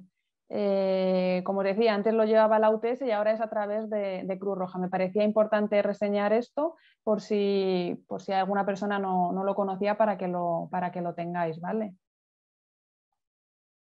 Aparte de, esto, también comentar un poco cuáles son los requisitos de, acceso al, sistema de acogida. Eh, bueno, ser solicitante de protección internacional en España, no puede ir una persona a solicitar el, apoyo económico, el ingreso en el sistema de acogida si no ha solicitado. Lo primero que tiene que hacer es solicitar el asilo, que eso a través de la página web hay que intentar conseguir una cita, que es un poco complicado, la verdad. Le remitirán a la persona a una comisaría o a un centro y ahí le darán una documentación como que es solicitante de asilo. Cuando ya tenga esa documentación, que normalmente suele ser un resguardo blanco, ya puede eh, pues ponerse en contacto con, en este caso ahora, con Cruz Roja para acceder al sistema. Eh, no puede ser nacional de, ningún país de la Unión Europea. Eh, también la, persona que, solicite el asilo pues tiene que carecer de recursos económicos, por eso va a tener una entrevista con, con, una trabajadora social en la que hablará y le contará la situación en la que se encuentra. Eh, no haber sido destinatario de las prestaciones ofrecidas, porque a veces hay personas que a lo mejor solicitan el asilo, les deniegan después el asilo y cuando lo vuelven a solicitar porque haya una nueva cuestión por la que solicitarlo, si ya han agotado el tiempo de, ayudas, que es entre 18 y 24 meses máximo, eh, no podría volver a solicitarlo si ya ha estado en el, en el sistema. ¿vale? Y eh, bueno, la aceptación de normas y del cumplimiento de, normativo que hay dentro de cuando entras en el, sistema de asilo. Esto lo digo porque muchas veces hay dudas en los servicios sociales de ¿puedo atender y dar una ayuda a una persona solicitante de asilo o no? Muchas veces me encuentro en coordinación con, compañeras y compañeros que, no saben. ¿no? Eh, sí que se puede ayudar a una persona solicitante de asilo porque no todas las personas solicitantes de asilo están dentro del sistema de acogida. Hay algunas que, no lo han solicitado porque también hay un plazo para solicitarlo. Hay otras personas que ya han acabado ayudas, entonces sí que necesitan un apoyo desde, por ejemplo, servicios sociales u otras entidades y por ello eh, quería destacarlo y comentarlo para que lo sepáis y si luego en rueda de preguntas tenéis eh, alguna cuestión más que queráis comentar sobre esto, pues también estoy eh, dispuesta a compartir toda la información que tengo para que se pueda atender a, las personas solicitantes de asilo, en este caso LGTBIQA, pues de la mejor manera posible.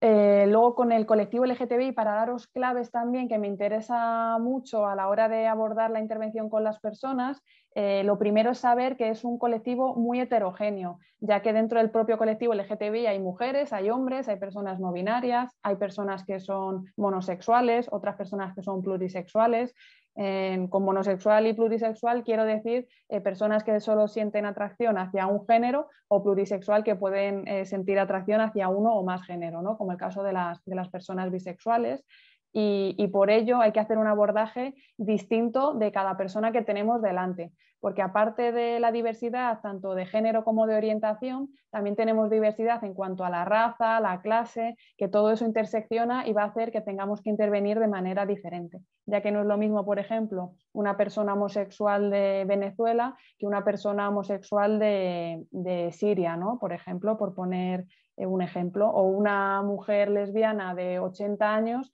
a una mujer lesbiana de, 20 años de, Angola. Eh, por eso hay que tener en cuenta que no por, pertenecer a un colectivo que se cree muchas veces que es homogéneo, hay que hacer la misma intervención. Por eso siempre individualizar los casos, que seguro que, ya lo hacéis, pero bueno, que no está de más eh, recalcarlo. Luego también quería trasladar que es muy importante el tener en cuenta su identidad y su visión eh, su socialización de género, cómo, cómo han vivido ellas y ellos, ya que muchas veces las personas vienen de muchos países diferentes y el tratamiento de ser LGTBI en un país o en otro cambia eh, un montón, ¿no? Pues lo como decía el compañero Eric, eh, hay todavía 70 países donde se pena el ser del, colectivo LGTBI y hay en algunos que son, hay cinco países que penan de muerte y otros países que llevan a la cárcel. Todo es horrible, pero eh, hay que tener en cuenta qué tipos de, leyes hay en los países para también saber un poco eh, qué miedos llegan esas personas aquí a, España. Por ello, cuando estamos ante una persona LGTBI, pues es importante utilizar un lenguaje inclusivo. yo el lenguaje inclusivo a veces utilizo la e, no quiere decir que tengamos que utilizar la E para referirnos a ellos, ellas o ellas, porque es un término muy occidental utilizar la E. A lo mejor hay personas que no lo utilizan en sus países y no saben de, lo que le estamos hablando si le estamos hablando con, la E. ¿no? Me refiero al lenguaje inclusivo, como decía la compañera, de si estamos en una entrevista, no suponer que es una persona cis o heterosexual, ¿no? Cuando hacemos esta primera recogida de datos es importante pues eh, ¿tienes pareja? Eh, ¿Estás casado, divorciado, soltero, viudo, con un hombre o con una mujer? O sea, dejar siempre eh, abierta la puerta a, la diversidad para no caer que simplemente a veces pues, tenemos el chip automático y damos por hecho que las personas son cis hetero y, puede que no, ¿no? Entonces me refiero a ese lenguaje inclusivo que tenga en cuenta toda la, diversidad. Como hemos hablado antes, lo de utilizar el, nombre y el pronombre, yo lo que hago, porque eh, muchas veces también puede ser que le diga a una persona cuál es tu pronombre y diga, pues yo qué sé, no, sé qué, me estás diciendo. ¿no? Yo lo que hago es primero presentarme. Digo, hola, me llamo Sofía, soy trabajadora social, voy a ser tu técnica y te voy a intentar acompañar en lo que pueda. Y me gusta que se dirijan a mí en femenino, mi pronombre es ella. ¿Cuál es tu pronombre? ¿Cómo te gusta que se refieran a ti? Y, con eso ya, y presentándome yo primero, les facilito a que ellas o ellos me, comenten ¿no? cómo se sienten a gusto, si el nombre que aparece en la documentación es el que ellos han elegido o no, y eso da pie a que ya desde un inicio, independientemente de la persona que tengamos delante, eh, sepamos un poco pues, la, identidad de, esa persona. Y eso no solo hay que hacerlo con personas que, que ya creemos o que nos han dicho que son del colectivo LGTBI, sino con todas las personas para normalizar y para que todas las personas también se acostumbren a que cuando hablamos unas con otras nos identifiquemos y así no hacer lo que se llama misgendering, que sería eh, cuando hablas a una persona con el género contrario al que se identifica. Por ello es muy importante que a todas las personas pues, le, le preguntemos esto. ¿no? Eh, otra cuestión que, quería resaltar es esto, que no todas las personas LGTBI eh, refugiadas se, se, sienten dentro del colectivo LGTBI, porque a lo mejor en países de origen no utilizan estas siglas, utilizan otros nombres, ¿no? Pues a lo mejor es una persona de India y, ahí utilizan IGRA, ¿no? Para, para ser una persona trans, que diríamos aquí. Tenemos que tener en cuenta que la cosmovisión es diferente de, los países del norte a, países del sur.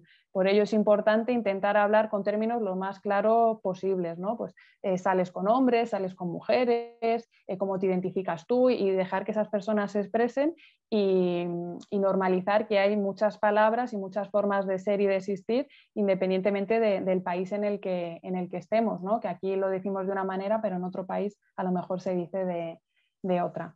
Y luego, bueno, lo que ha comentado también María, María José, el tema de la autocrítica ¿no? y revisión de nuestros propios prejuicios, eh, revisión de la cis heterosexualidad, no dar nada por supuesto. Pasa mucho con el caso de las personas bisexuales que mm, cuando llega una persona a nuestros servicios y nos dice que, está casada con un hombre, ya damos por hecho que, es heterosexual, ¿no? Pues quizás eh, si en el caso que fuese una, una mujer, eh, tener en cuenta que quizá puede ser bisexual, ¿no? Y anteriormente ha tenido eh, parejas mujeres o, parejas no binarias, o que en el futuro puede haber eso, ¿no? Yo, por ejemplo, ahora tengo un caso de, una mujer bisexual y estuvo con un hombre, tiene una niña y muchas veces, pues ya, tiene una niña, ya se nos entiende como que, que va a ser hetero y no, ¿no? Por ejemplo, es un ejemplo que quería poner para, para ver y visibilizar también la dificultad de las personas bisexuales muchas veces para ser leídas y vistas, eh, porque muchas veces tendemos a, pensar que todo el mundo es, heterosexual, ¿no? O heterosexual o, homosexual y siempre hay, algo más. Y bueno, otra, otra cuestión que quería comentar es como nosotras y nosotros como técnicos, profesionales, eh, ¿qué tenemos que tener en cuenta cuando trabajamos con el colectivo LGTBI? ¿no? Pues un apoyo psicosocial bastante importante, igual que decía María José con el tema de las personas trans, que es muy, importante tener más incidencia con ellas y hacer un seguimiento más exhaustivo, eh, en general con, toda la población LGTBI, ya que muchas veces vienen eh, con unas cargas y unas mochilas de países de origen muy difíciles y muy, y muy pesadas. ¿no? muchas veces tienen una LGTB-fobia interiorizada, que les cuesta mucho pues, decir y llamarse eh, LGTBI ya que la, vivencia que han tenido en países de origen ha sido eh, muy violenta. ¿no?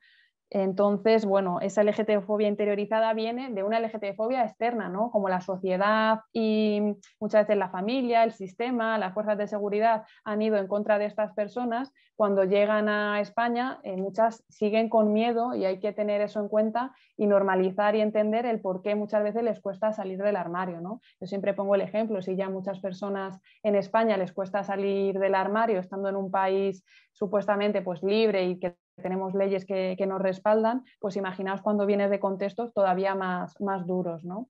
También a tener en cuenta en la intervención con las personas eh, refugiadas LGTBI es la violencia intragénero que también se da. Muchas veces se romantiza estas relaciones y se piensa que, bueno, que salgan dos mujeres o dos hombres, pues mírales qué monos y qué majos son y, va a estar todo bien, ¿no? Pues no, muchas veces, pues por lo que comentaba María José de la soledad, eh, hay relaciones que se cierran mucho y se vuelven en dinámicas muy tóxicas y muy malas. Hay que estar al quite ¿no? con las personas que intervenimos del colectivo LGTBI para, para ver si está sucediendo esto ¿no? en las relaciones de pareja que, que establecen. Y luego, bueno, luego también tener en cuenta eh, la discriminación por la expresión de género, ¿no? La expresión de género al final es cómo nos movemos, cómo hablamos, cómo vestimos y muchas veces a, personas que no son del colectivo se piensan que son del colectivo porque es un hombre que tiene amaneramientos, ¿no? Como, como dicen, o, un hombre que, que se expresa de forma femenina o una mujer que se expresa de forma masculina. No todas las personas que su expresión de género eh, es no normativa, van a ser del colectivo LGTBI. Eso hay que tenerlo en cuenta, pero sobre todo me importa el que se coja la idea de que muchas personas eh, tienen una expresión de género normativa y son del colectivo LGTBI, que creo que esas personas son las que más se nos pueden escapar en nuestras intervenciones, ¿no? que a lo mejor tenemos delante a un hombre y, tiene todos los estereotipos de masculinos, ¿no? de la masculinidad, y, no se nos pasa por la cabeza que pueda ser gay o que pueda ser bisexual o incluso que pueda ser una persona trans. ¿no? Por eso es importante recargar que la expresión de género no determina ni nuestra identidad ni nuestra, ni nuestra orientación. ¿no? Y luego otra cuestión respecto a esto es la, la capacidad de agencia. ¿no? Cada persona vive su vida y no hay que insistir en que nos lo cuenten. Cuéntamelo, cuéntamelo, intentar hacer como estrategias para que nos lo cuenten porque cada persona lleva un proceso y necesita un espacio eh, seguro para poder comentarlo y, y decirlo abiertamente, pero nosotros estamos ahí siempre pues, para acompañar y cuando quieran eh, que nos lo cuenten. ¿no? En cuanto a las vías de detección, que en la reunión anterior a esta jornada estuvimos hablando, ¿no? y había mm, pues, alguna solicitud de, compañeras y compañeros que decían, bueno, ¿y cómo sé yo que, estoy delante de una persona LGTBI o no? ¿no? Porque muchas veces son citas cortas, eh, a lo mejor la siguiente cita tarda, tardas un mes en volver a ver a la persona. Entonces, ¿cómo detecto yo cuanto antes que es una persona LGTBI para poder apoyarla? ¿no? Pues bueno, saber que solo vamos a estar ante una persona LGTBI cuando ella misma se autoidentifica. Nosotros, aunque creamos que es, si esa persona no lo dice, no se puede hacer nada. ¿no? Yo un caso que, tuve, estuvo dos años en, asilo, ¿no?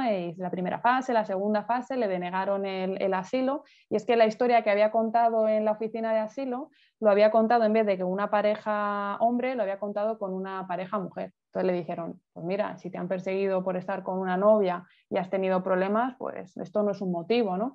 Y bueno, luego al final terminó saliendo del armario al tiempo, nos lo contó y es un proceso que él ha vivido y lo ha expresado cuando ha podido, ¿no? que a todas y a todos nos da rabia como, jolín, qué pena, ¿no? que ha habido una denegación cuando ese caso podía salir adelante, pero es el proceso de la persona. Obviamente ya se ha vuelto a pedir una segunda solicitud y estamos en ello para que a esta persona sí que la protejan porque encima viene de un país donde se pena con, con cárcel. ¿no?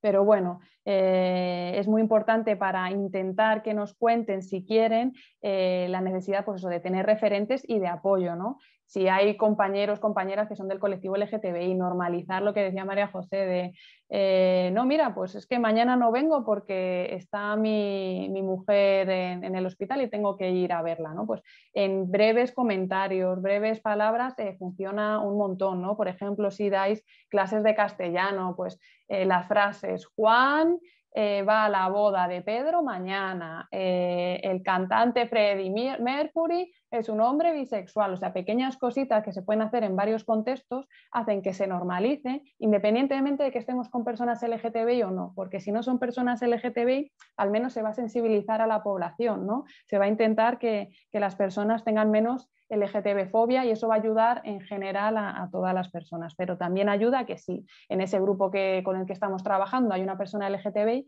que sienta y que vea que, no hay problema y que en esta entidad, en esta organización, eh, se respeta y se apoya a las personas del colectivo. Por eso es súper importante los referentes, eh, las redes de apoyo, ¿no? Eh, intentar que eso, que encuentren un espacio donde estar con otras personas LGTBI para charlar, para hablar, porque muchas veces vienen de países donde no han tenido eh, ese, espacio ¿no? para, hablar de, qué es ser LGTBI, qué es, cómo se vive y cómo se, siente. ¿no? Por eso es muy importante eh, lo de los recursos y las asociaciones LGTBI disponibles para que se pueda ir y se pueda y se puede ampliar la red, ya que muchas de estas personas hacen el viaje solos y solas, ¿no? que no es cuando, como cuando viene una, familia cisetero, que normalmente vienen eh, pues, o los hijos, el padre, la madre, o están pendientes, muchas personas vienen solas y vienen sin familia, ¿no? porque en muchos casos hay un rechazo, que eso también nos da un indicio, ¿no? cuando estamos en una entrevista y preguntamos por la familia y decimos, eh, ¿qué tal el vínculo con la familia? ¿Hablas con ellos a menudo? ¿no? Eh, si nos dice no, no, y, les sigues preguntando un poco, ¿no? ¿Y dónde vivías allí? Pues si ves que son personas que han salido muy pronto de, la casa, que a veces han sido expulsadas, que también eh, los estudios que han realizado son muy cortos porque salieron pronto de la escuela. Son indicios que nos puede dar a que estamos ante una persona LGTBI. No tiene por qué, porque esto no es una checklist de, de, cositas, pero son indicios. ¿no? Yo siempre digo que es preferible pensar que sí que es una persona LGTBI a pensar que no porque estamos haciendo una intervención y, le decimos a una persona o en algún momento damos a entender que creemos que es del colectivo y esa persona se ofende, no, yo no soy del colectivo. Lo único que ha pasado es que esa persona pues también tiene que revisarse la LGTB-fobia, ¿no? Nadie debería sentirse ofendido porque alguien piense o crea que, es del colectivo LGTBI. Pero si el caso es que es una persona LGTBI, hemos ganado eh, mucho más, ¿no? Por eso es importante. En cuanto a, a, las personas cuando llegan a España, eh, eh, hay que informarlas de, los derechos que tienen, sobre todo eh, por motivos LGTBI, ¿no? cuando llegan, que sepan que pueden pedir el, asilo porque es un motivo de, protección internacional en España y, tienen ese derecho, porque también nos hemos encontrado con casos de personas que ya llevan más de dos años en España y nunca han pedido el asilo por motivos LGTBI porque lo desconocían. ¿no? Entonces es importante que cuando estamos ante una persona eh, migrante informemos, como no sabemos si es LGTBI o no, informemos de los derechos. ¿no? Si en el caso que fueses una persona LGTBI, que sepas que aquí se puede pedir asilo y eh, te protegen y se, bueno, se va contando toda la, situación de, de, que ser una persona LGTBI en España con la protección internacional. También informar de las leyes que tenemos aquí, porque muchos y muchas desconocen, ¿no? Pues desconocen que si le insultan por la calle pueden ir a, denunciarlo, ¿no? Desconocen que, se pueden casar con, personas del mismo género, desconocen un poco la, normativa. Hay otras personas que, sí que conocen, pero eh, otras, otras no. Por eso también es importante informar a las personas. Y sobre todo crear esos espacios seguros para que las personas se sientan tranquilas y se sientan a gusto. Yo, por ejemplo, como persona del colectivo LGTBI, cuando voy a un bar o a un edificio institucional y veo que hay una pegatinita eh, de LGTBI, pues entro más, más tranquila y, más segura, ¿no? Porque muchas veces también estamos, al pertenecer a una, a una minoría, como con una ansiedad anticipada de, a ver si me van a tratar bien o no, ¿no? porque vemos como muchas historias de muchas violencias que, ocurren a, las personas LGTBI. Entonces, generar un espacio seguro en el despacho, en la sala de idiomas, de empleo, donde, donde intervengáis, es súper importante. Entonces, bueno, no sé cómo voy de tiempo, porque me la... Sofía, te quedan tres minutos. Vale, vale, pues nada, nada, esto ya y, termino. Eh, bueno, saber que ser LGTBI es un criterio de vulnerabilidad, o sea que hay que intentar hacer más apoyo porque se sufre mucha violencia, no, no te alquilan pisos si por ejemplo tienes pluma, eh, súmale el ser una persona migrante, eh, no te contratan en trabajo, o sea, el paro es abismal, sobre todo en, en mujeres trans que están en el 85%, o sea, es un criterio de vulnerabilidad y hay que intentar apoyar. Yo desde mi servicio de empleo siempre que sale una oferta, las primeras personas que pongo son las personas trans, porque son las que más apoyo eh, eh, necesitan. Eh, luego también es importante que cuando demos los recursos a las personas LGTBI eh, no sea darle un listado y ya está, sino decirle, mira, pues en, rescate trabaja María José, muy buena profesional, te va a ayudar en esto o en lo otro. En la Merced Migración también tienen un proyecto de empleo, o sea, explicarles un poquito más dónde van, porque quizás sea la primera vez que van a una entidad LGTBI y tienen miedo, ¿no? Una buena práctica es explicarles, contarles dónde está, cómo es, cuanta más información eh, mejor. ¿no? Luego con los intérpretes, muchas veces los intérpretes que utilizamos son del propio país de estas personas y a veces ¡ah! les da un poquito de miedo, ¿no? pues que el, intérprete o la intérprete recalque, yo estoy aquí para hacer mi trabajo, voy a ser neutra, eh, no tengo ningún problema ni prejuicio con las personas LGTBI, es muy importante recalcarlos para que ellas y ellos se sientan más seguros. Y luego también es súper importante que es una pequeña cosita, pero que ayuda mucho, el llevar pegatinas, chapitas, cartelerías LGTBI. Eso hace que las personas en el despacho se sientan más seguras y a lo mejor quizás sí que les ayude a, salir del armario y poder hacer una intervención eh, pues, pues, más integral, ¿no? sabiendo su identidad o su, orientación. Y nada, ya la entrevista, pues eso, empatía, confianza, no tengáis miedo, porque siempre que se va con buena voluntad hacia una persona LGTBI, no tengáis miedo de equivocaros en una palabra o en otra, porque siempre que haya respeto y empatía, eh, no va a haber ningún problema. Y eso es un poco lo que quería comentar hoy.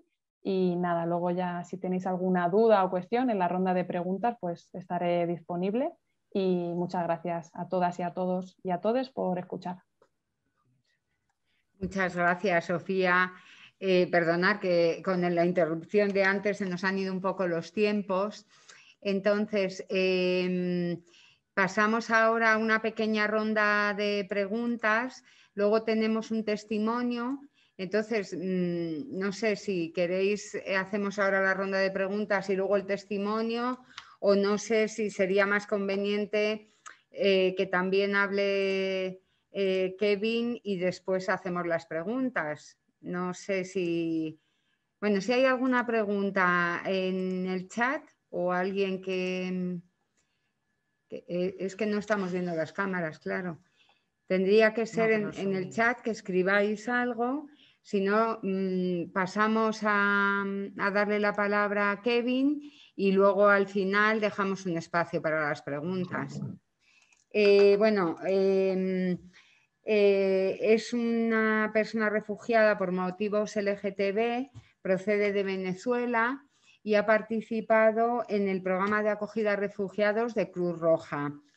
Eh, Kevin tiene 27 años, creo, si no me equivoco, y llegó a España en febrero del 2012 entró en el programa eh, de, acogida temporal de Cruz Roja en Fuenlabrada y pasó a segunda fase en muy poco tiempo y bueno, queremos que nos cuente él su experiencia. Bueno, bueno este, buenos días, este, mi nombre es Kevin, como bien decía, estaba, vengo de Venezuela, no llegué en 2012, solo tengo dos años y seis meses aquí en España, llegué creo que en 2019.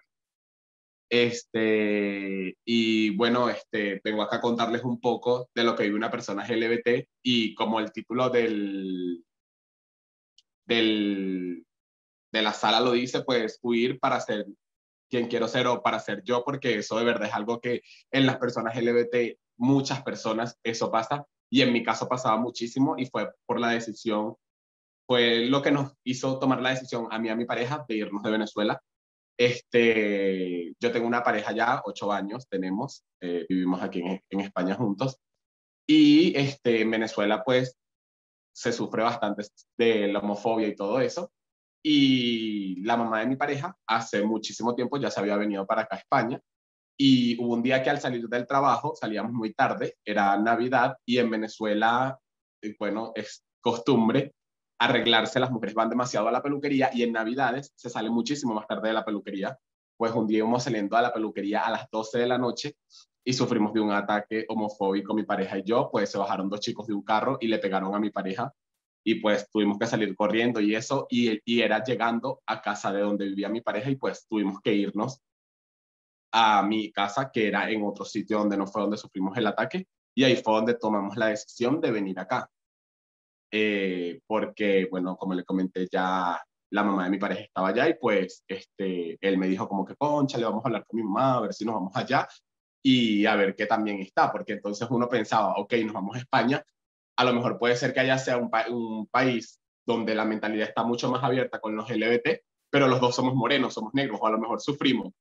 A lo mejor no sufrimos por lo de los LGBT, pero a lo mejor sufrimos racismo o algo así, entonces también estábamos pensándolo por esa parte pero al final decidimos hacerlo, pero no teníamos el dinero suficiente para salir los dos al mismo tiempo. Entonces lo que hizo fue Samuel venirse a donde su mamá y yo me tuve que quedar en Venezuela, en la zona donde les dije que no fue donde recibimos el ataque, hasta que Samuel pudiese hacer aquí el pasaje para poderme traer. Pasaron seis meses de eso, yo duré seis meses solo en Venezuela y Samuel ya estaba aquí cuando eso hizo el dinero y me trajo.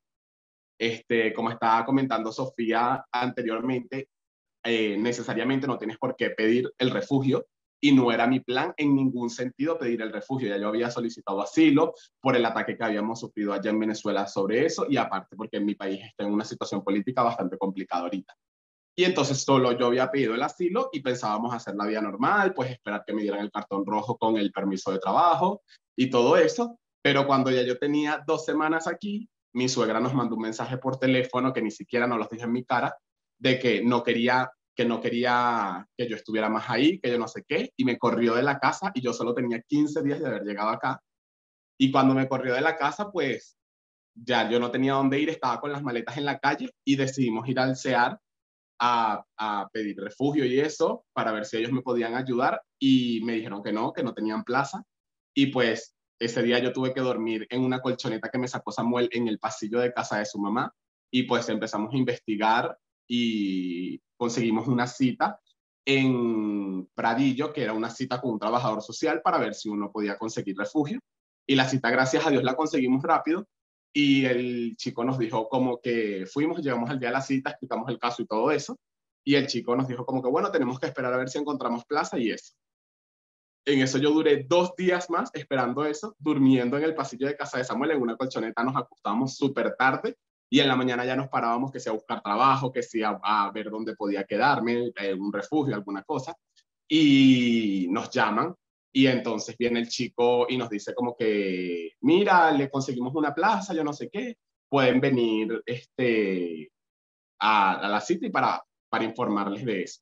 A todas estas, yo nunca me separé de Samuel, Samuel siempre su mamá no me dejaba dormir en la casa y él dormía conmigo fuera en el pasillo. Él me acompañaba a todas las citas que teníamos sobre eso y llegamos a Pradillo nuevamente a la cita con la trabajadora social y, y era un chico y viene y me dice como, bueno, te conseguimos una plaza, este, mañana puedes arreglar las maletas y te vas a Bajos. Y nosotros, Badajoz, ¿dónde queda eso? Pues yo tenía solo 15 días de haber llegado aquí a Madrid y no sabía que era Badajoz. Este, bueno, es un sitio que yo no sé qué, en transporte público, dura seis horas y ahí ya yo empecé a llorar. O sea, venía de seis meses sin estar con mi pareja de muchísimo tiempo y que una persona venga y me diga como de que, bueno, ahora vas a vivir en un sitio, un pueblo o, un estado totalmente distinto a este, donde en transporte público tardas seis horas en llegar hacia donde está tu pareja, así, ¿sabes? Porque tenemos una relación y por, y por, por más que haya pasado lo que, lo que haya pasado con su mamá, pues nosotros queríamos seguir estando juntos, ¿sabes? Y entonces ahí yo empecé a llorar y porque me parecía algo súper complicado estando nuevo en un país, que me vine con mi pareja, no poder estar cerca de él y todo eso. Y esa persona en ese momento fue como, como súper agradable y dijo, bueno, espérate un momento y vamos a tratar de conseguir algo.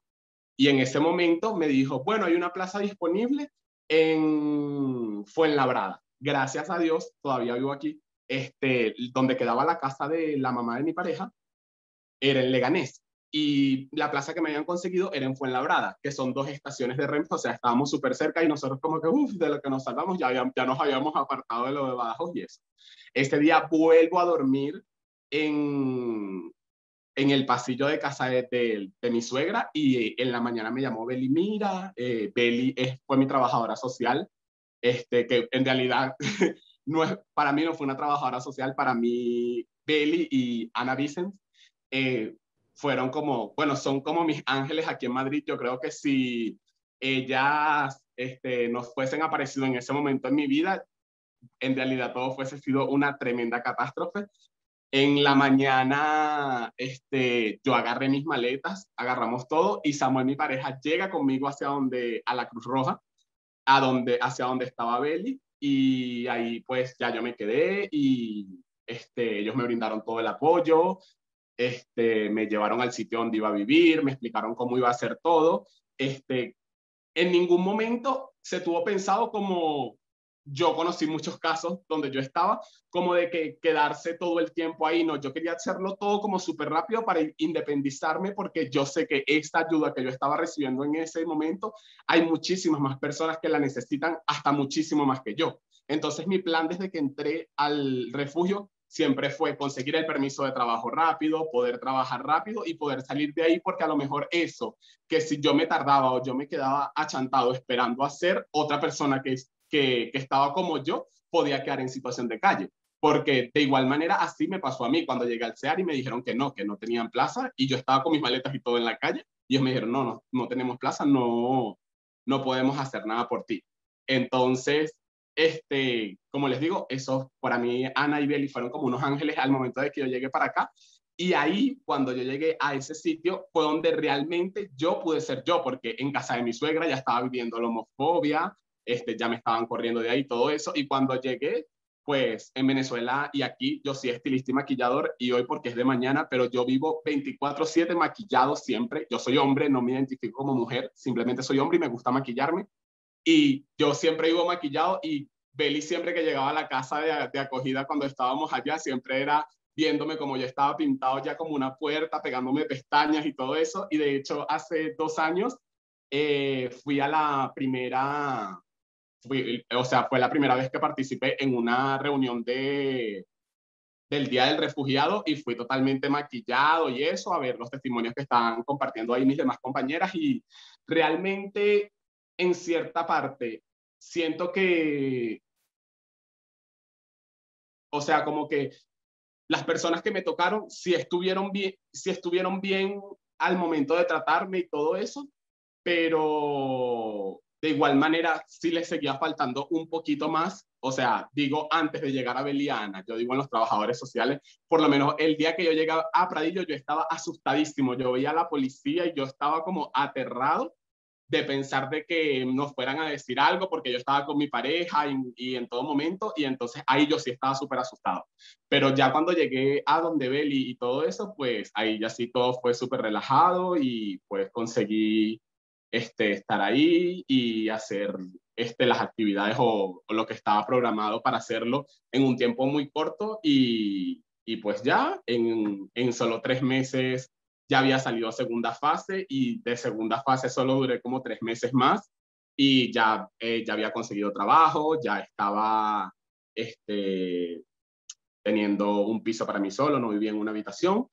Y, y bueno, sí, eso fue como parte de lo, que, de, lo que yo, de lo que yo viví en el momento en el que estuve en la oficina de, del asilo. No sé si quieren preguntarme algo, algo más porque yo hablo muy rápido, discúlpame si no me han entendido. Y también hay otras muchas cosas más que se pudiesen contar, pero no sé, estoy como tratando de resumirlo todo por, por el tiempo. Pues, pues muchísimas gracias, Kevin, por tu testimonio y por poner un poco también de luz en primera persona sobre lo que a veces tratamos en papeles, en tal, y que no, no conocemos la historia que de verdad hay detrás de, pues de cada caso. Em, abrimos, si queréis, un turno de preguntas, eh, tanto a Kevin como a los otros ponentes, a Eric, a María José y a Sofía. Y, Y yo en lo que, en lo que se inicia una pregunta, le quería preguntar a, a Eric eh, dos cosas. ¿Cuál es el país más peligroso en temas de LGTBI-fobia? Y, mm, y si, si, hay facilidad para conseguir el estatuto o la protección internacional por este motivo. O realmente tienes que demostrarlo mucho, bueno, un poco... A ver, no sé si sabría decirte cuál es el país más peligroso ¿no? para, para las personas LGTBI, porque también depende un poco de, pues, no solo de las leyes, las leyes positivas, de la legislación que haya en un país determinado, sino ya también el cómo la sociedad, ¿no? Eh, pues lleva a cabo prácticas eh, pues discriminatorias o contrarias a los derechos humanos, en este caso los derechos de las personas LGTBI.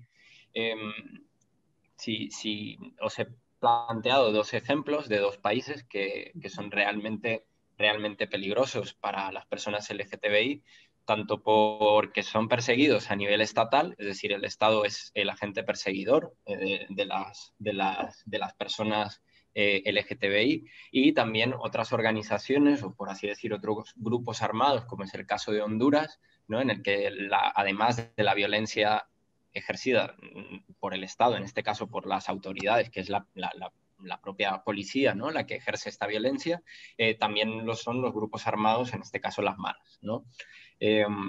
Con lo cual es el doble peligro, ¿no? Tanto de las maras y además em, eh, ocurre una cuestión en Honduras y El Salvador que Em, cuando son muy, muy peques, o sea, a, los y a las peques, se, les, vamos, se les enseña a directamente discriminar, ¿no? Directamente, porque existe una influencia muy, muy, muy grande por parte de, la iglesia, por así decir, y por, además por, por la parte evangélica, eh, con lo cual... Eh, se suma, además de a la cuestión de la persecución por parte del Estado, por parte de los grupos armados, pues la misma cultura o la misma estructura de, la sociedad eh, está hecha para rechazar a personas del colectivo LGTBI. En Irán, como veis, es un poco contradictorio porque em, existe persecución hacia personas de, en este caso, hablamos de hombres que tienen eh, relaciones sexuales con hombres, porque es lo que os ponía de ejemplo, ¿no? Es la demostración de la práctica sexual, ¿no? O del el amor entre dos hombres o entre dos mujeres, eh, lo que está penado, eh, con la, tanto con la tortura como con la muerte si se reitera. Y, pero luego, por ejemplo, el hecho de eh, ser una mujer trans o un hombre trans no es algo que esté penado, sino todo lo contrario. Es la vía por la cual una persona eh, homosexual, por ejemplo, puede vivir, ¿no? por así decir, aunque no se identifique como un hombre o como una mujer, sino que se identifica con el género asignado. ¿no? Em, entonces, la, persecución o, la, digamos, el, el, país más peligroso, eh, creo que, mm, no sé, varía mucho, depende mucho de eh, también la situación con la, que te, con la que te encuentres, pero eh, no tanto la situación con la que te encuentres, sino depende mucho de la evolución o de, la cultura ¿no? que haya en, ese, en ese país. Y luego, eh, pues claro, sí, es bastante difícil demostrar, eh, demostrar sobre todo el hecho de demostrar la orientación sexual eh, de una persona, porque claro, esto es como algo muy íntimo, ¿no? Es algo muy personal y, el hecho de demostrar esto muchas veces es un motivo de denegación, ¿no? Directamente dice, bueno, esta persona, ¿cómo demostramos que esta persona es una persona homosexual? ¿no? Es una mujer homosexual o un hombre homosexual. Y, en ese caso, eh, que está huyendo, ¿no? Cuando, por ejemplo, a una persona, eh, a otro tipo, quiero decir, a otra persona no se le reconoce el estatuto de refugiado por huir de la violencia de las maras, ¿no? Eh, que en muchos casos son personas del colectivo LGTBI, pues ahí está la, gravedad del asunto, que ni siquiera se reconoce que el, que el Estado, o sea, el Estado español que, ya lo hace, ¿no? Pero antes no reconocía que, el, Estado, el Estado de Honduras era capaz, incapaz de garantizar la protección de las personas respecto a la violencia ejercida por las maras, ¿no? no, no eh, ahora sí, pero, pero antes no. Entonces, claro, eh, en este caso eh, sí es complicado demostrar la orientación sexual de una persona como motivo de, como motivo de solicitud de protección internacional. sí, lo es bastante. Y además es, es el motivo por el que, mm, vamos, muchas veces a, las juristas en la organización les, resulta complicado eh, alcanzar el estatuto de refugiado para esas, o sea, no a, no a las juristas, sino a las personas solicitantes. Bueno, mm, no quiero robar más tiempo. Muchas gracias, eh, muchas gracias, Eric. ¿Alguna pregunta más? Buenos días. Buenos días, Beli. Yo preguntar, yo preguntar no tanto, o sea, yo os quería saludar a todos y mandarle un abrazo enorme a, Kevin. Bueno, y aclarar, Kevin, yo soy la mediadora social del programa, no soy la trabajadora social. Que se entiende, que se nos tiende a confundir, pero bueno, yo lo entiendo. Agradecerte mucho, Kevin, que hayas accedido a, participar, porque yo lo que le comentaba a Rosa cuando estaba organizando las jornadas, eh, yo le decía que cuesta encontrar a alguien que quiera verbalizar eh, y presentarse como una persona perteneciente al colectivo. O sea, yo sé que hay muchas personas que han pasado por el programa, yo sé que eran, que eran gays y que son lesbianas, lo que pasa es que de ahí a quererlo verbalizar, eh, aparecer tu rostro y contar tu testimonio, o sea, va un abismo. Entonces yo te agradezco que hayas querido participar. Yo guardo muy buen recuerdo de, de tu paso por el programa me acuerdo perfectamente que cuando te llamé para hacerte el ingreso me preguntaste si podías venir acompañada de tu pareja y dije por supuesto, así que aprovecho y también le saludo a él, que también me acuerdo de, también me acuerdo de él. Sí, sí, él, de hecho también quería participar, pero pues yo pedí el día libre en mi trabajo para, para poder hacer esto y le dije como de que bueno, si puedes en la hora del almuerzo, pues, pero lo hicieron más temprano porque todavía no sabía qué hora iba a hacer esto, pero él también quería participar. Así que no, yo de verdad que me acuerdo de vosotros. Me gustaría haberte podido ver ayer en la, actividad aquí de la asamblea, pero bueno, yo entiendo que al final, o sea, es que estáis trabajando y yo por lo cual me alegro, me alegro enormemente. También comentarte, decir, yo me alegro que te sintieras así de bien en el programa. Porque sí, es verdad que en ese momento, o sea, yo recuerdo tú compartías habitación con, con otra persona o sea, con lo cual el tema de espacios compartidos sé que es una doble dificultad, así que yo o sea, me alegra enormemente de que te sintieras así de bien y que pudieras sentirte eh, y expresarte como tú querías y como tú deseabas estando, estando aquí. Entonces yo por esa parte la verdad que me quedo, o sea, me quedo muy satisfecha, muy, muy contenta. No, y al igual yo, yo, yo total, o sea, eh, alguna queja que yo pueda llegar a tener sobre el programa, pues ninguna, porque de hecho algo que me gustaba muchísimo del programa era que yo estaba en una casa donde solo estaban hombres y este, visibilizar y normalizar al colectivo LGBT es lo que más necesitamos. Pues yo si hay personas que son mucho más vulnerables en otros aspectos, pero no porque yo sea una persona homosexual, me van a poner en un piso donde solo haya personas homosexuales, porque eso lo que está haciendo es apartarme del resto de las personas y no socializar. Lo que has dicho es muy interesante, porque cuando estábamos preparando las jornadas, para que el resto de compañeros también pueda decir su opinión, o sea, me parece interesante que tú mismo, o sea, nos digas de decir, ¿crees que es mejor o sea, que a las personas del colectivo LGTB se les tenga en pisos compartidos con otras personas. O sea, ¿crees que sería perjudicial que hubiera dispositivos solo y exclusivamente para personas LGTB?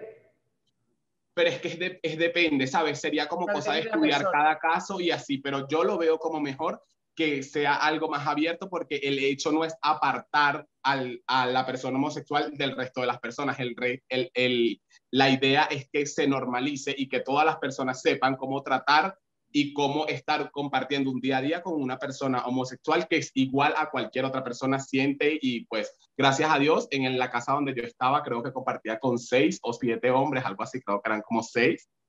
Este, y pues estaba genial con todos ellos, ¿sabes? En ningún momento me sentí que sufrí de homofobia o algo así, pero sí que hay casos donde hay personas que son mucho más vulnerables que sí pues ya necesitan otro que vienen de que los heteros, los heteros le hayan dado una paliza y tengan más miedo en, en vivir con personas. Siento que es algo como estudiarlo y de preguntárselo a esa misma persona y de igual manera estudiar a las otras personas que compartan en ese sitio, porque por lo menos si yo te fuese dicho a ti en ese momento, que eras la que estabas encargada de mí en ese momento, mira, estoy sufriendo de un ataque de homofobia aquí en el piso donde estoy compartiendo con los demás, pues el hecho era que tú ibas a donde estaba el problema y le preguntaras, mira, ¿qué es lo que pasa? Y así, porque como te digo, tampoco la idea era apartarme del resto de los demás, porque eso lo que va a hacer es que las personas sigan pensando, ay, no, este es el lado de los homosexuales, ellos que se vayan a su lado y nosotros a nuestro rollo, y no es así. De igual manera, yo también quería compartir lo de que este, aquí en España tuve la oportunidad el año pasado reencontrarme con mi mejor amiga, que en Venezuela siempre reprimió eh, hacer su transición porque ella siempre se sintió como una mujer y aquí en España ya empezó su transición, ya logró operarse y todo eso con los ahorros que le mandaron sus padres que tenían en Venezuela. Y a ella sí le ha ido aquí totalmente distinto a mí porque ha pasado unas vergüenzas que hasta a mí me dan ganas de llorar porque el día que fuimos a la oficina a Luche a buscar el tiquecito para poder hacerlo del asilo político, este, ella entregó su pasaporte y vestida de mujer la han llamado con su nombre de hombre y ella estaba así como que no sabía qué hacer, si pararse, si, si, ¿sabes? Y que ella se lo había comentado a la persona cuando llegamos y hasta le anotó en un papelito que se llamaba Fabiana y la persona lo dio como caso omiso, no, no, le, no le paró ni medias y en el momento que lo llamaron habían como 35 personas más en la sala esperando el que le dieran el turno para y lo llamaron con su con su nombre antiguo que no es el que ella le gusta ni que se reconoce con ese nombre y pues ese fue un momento muy duro para mí y para ella también porque ella tenía muchas ganas de llorar y eso sí sería algo que deberían este, hacerlo porque eso ya no es culpa de, de nosotros los que venimos acá porque en nuestros países no es normal cambiar el nombre, ¿sabes? En, en, por lo menos en Venezuela no se puede hacer eso de cambiar el nombre así tan fácil, es un papeleo, es todo un rollo. Y llegamos aquí con la documentación que tenemos allá, pero aquí, que se supone que es un país donde nos van a brindar el apoyo, que este, está mucho más normalizado eso, pues debería ser algo como más tratado con más cuidado para que las personas no se sientan tan mal, ¿sabes? Efectivamente. Y eso, y eso, y eso, y eso pasa, y eso pasa en, en, en, un proceso de asilo y en cualquier otro sitio. Simplemente es algo que a las personas también les cuesta, porque si, en tu, si tú estás entregando una documentación con tu nombre, pues te van a llamar por ese nombre. Pero si la persona ya te está haciendo la nota como antes de entrar, de decirte, mira, este no es el nombre con el que yo me identifico, yo me llamo tal persona, pues lo, lo más, yo digo que lo más humano sería llamar a la persona por el nombre que te está diciendo. Ya, sí, voy yo. Buenos días a todas, todos y todes. Eh, bueno, yo soy Molina, soy del equipo de diversidad y sí quería plantear dos cuestiones. Creo que son para Eric. Una de ellas es cuando has contado el relato de dos chicas lesbianas que se ven obligadas a huir de la mar. Ahí se me ha ido. Bueno, pero te pueden contestar. Bueno, eh, es que como eres el que habla un poco de la tarjeta sanitaria de la Comunidad de Madrid, por eso también iba dirigido a ella. Eh, según Kevin, eh, sí que es verdad que todavía entiendo que la tarjeta roja o el documento blanco va todavía con el nombre registral, es decir, con el nombre no de uso, sino registral. Pero la documentación de la Comunidad de Madrid que comentaba Eric, como tarjeta médica o carnet de estudiantes, ¿sí que lleva el cambio el nombre de uso o lleva el nombre anterior? Eh, si queréis, os puedo ayudar con esa información. Eh, a ver, el, tú, de hecho hay como un formulario específico para solicitar el, cambio de nombre tanto en la tarjeta sanitaria como en el abono transporte. Sí que es verdad que desde la experiencia de rescate nos hemos encontrado con que eh, necesitan tener el estatuto reconocido para poder hacer la modificación en estos documentos. Como solicitantes, tanto con la tarjeta blanca como con la tarjeta roja, aparece su nombre como su nombre oficial, digamos, ¿no? Entonces ahí sí que no, no, les realizan ningún cambio del nombre sentido. Y lo otro, lamentablemente, pues tienen que esperar a, que se les reconozca el, el estatuto. Vale, pero si tiene estatuto de refugiado, sí que le... Sí, sí. De hecho, hay unos formularios que si queréis yo os puedo compartir. Sí, os podría compartir el lunes porque hoy estoy teletrabajando. Cuando esté en oficina os puedo, os puedo mandar los documentos para que podáis realizar esa gestión. Vale. Perfecto.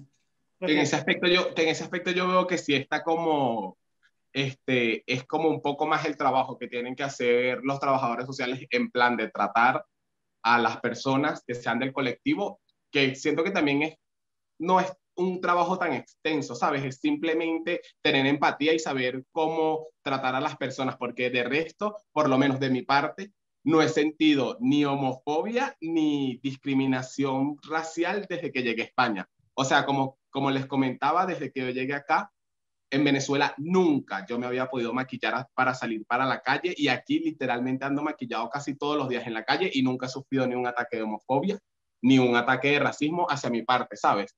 Y es algo como les digo, como que ya está mucho más abierto y lo que falta es como normalizarlo, como hacerlo como que en realidad ni siquiera sea un tema, solamente simplemente sea como el resto de la vida de los heterosexuales y normal. O sea, como que en realidad no tiene por qué ser un tema porque no es un tema, son personas igual que las otras personas. En relación a lo que decía Kevin, eh, yo creo que es que es fundamental seguir sensibilizando a los funcionarios y al personal porque o sea, desde ahí, ¿no? Desde nosotros mismos empieza todo. Eh, y, influye mucho en cómo tú haces sentir a la persona que, estás tratando. Si a mí Kevin me dice que su nombre sentido es Magdalena y yo le ignoro o le sigo llamando de él, pues ¿qué me va a decir esta persona? No, ni, ni empatiza conmigo ni me está entendiendo nada de lo que le estoy explicando. Claro, y más si te identificas como mujer y aparte vas vestido como una mujer, o sea, como que en realidad la ropa no tiene género, pero si la persona te está diciendo como de que, mira, yo me identifico como mujer y mi nombre es este, pues tú deberías aceptarlo así. Y yo siento que eso está muy bien que lo, que por eso están aquí las personas de la concejalía y todo esto de Fuenlabrada, porque este, e, ellos mismos pudiesen proponer o tener charlas con los policías, con los sitios donde estén las policías municipales o locales o algo así, y dar charlas sobre esto a por lo menos las personas que tratan con los inmigrantes que vienen con este tipo de problemas que si este, son transgénero o se identifican con un género o con otro, y así pues es, eh, sería algo más que hablarlo, como hacerlo que funcione, ¿sabes? Como, no sé si me, si me doy a explicar, como que tener a alguien que de este tipo de charlas en, en ese tipo de sitios donde se atiendan las personas que vienen con este tipo de problemáticas. Mucha... Que yo, que yo, que yo, que, que yo, que, que, yo creo que ya las hay, ya, ya, de, ya de hecho eso funciona, o me equivoco. Eh, sí, creo que ahora me toca a mí un poco. Eh, aquí en la Policía de Flora sí que tenemos un protocolo de intervención con personas trans. ¿Qué es lo que ocurre? Que en el colectivo LGTB es tanta la diversidad que abarca que por mucho que quieras meterlo todo en un protocolo, siempre hay aspectos que se te quedan fuera. Pero bueno, sí que es verdad que trabajamos, intentamos aprender mucho de, las asociaciones LGTB, pero es verdad que es un colectivo súper, súper diverso e intentamos protocolizar y dar cursos y formaciones, pero, pero es complejo. ¿eh? Y las documentaciones, todo, todo, todo, y mucha complejidad. Pero bueno, sí que es verdad que intentamos trabajar y mejorar día a día en este aspecto. Bueno, tenemos cuatro minutos. ¿Hay alguna pregunta más? Yo quiero resaltar la importancia de lo que habéis estado comentando las, mm, eh, cuando habéis hablado María José y Sofía de cómo tenemos que intervenir desde los profesionales con personas LGTB, la importancia de que no hay nada escrito, por lo que estoy viendo en el tema, porque depende de las naciones, de los países, de dónde procedas, eh, te, te, puedes sentir identificado de una forma u otra. Y yo por lo que deduzco es saber escuchar, escuchar, escuchar preguntar y respetar lo que la persona, el paso que vaya marcando. Y bueno, mm, agradeceros muchísimo el esfuerzo que habéis hecho, porque sé que es una charla que habéis tenido que preparar eh, para esta ocasión, porque os habíamos pedido que mm, intervinierais contando qué, qué, nos puede beneficiar o qué podemos hacer desde los profesionales que intervenimos para detectar también casos y poder acompañar.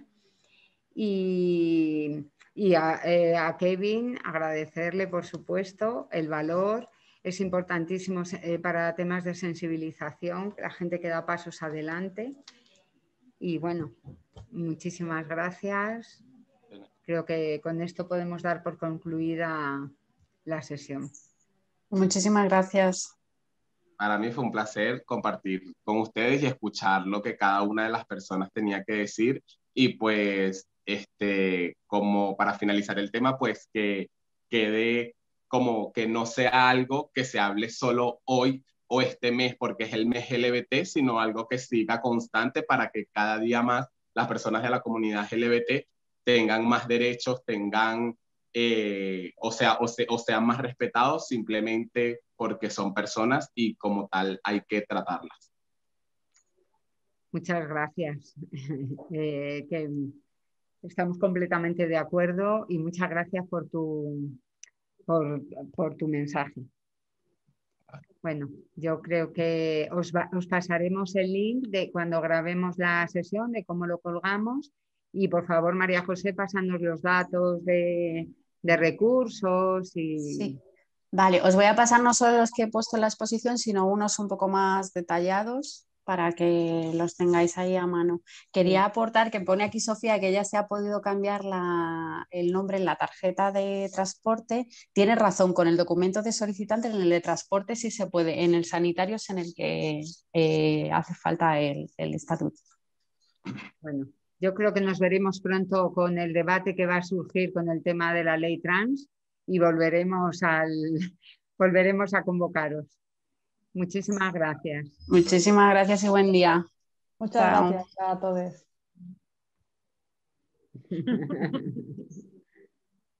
Ay,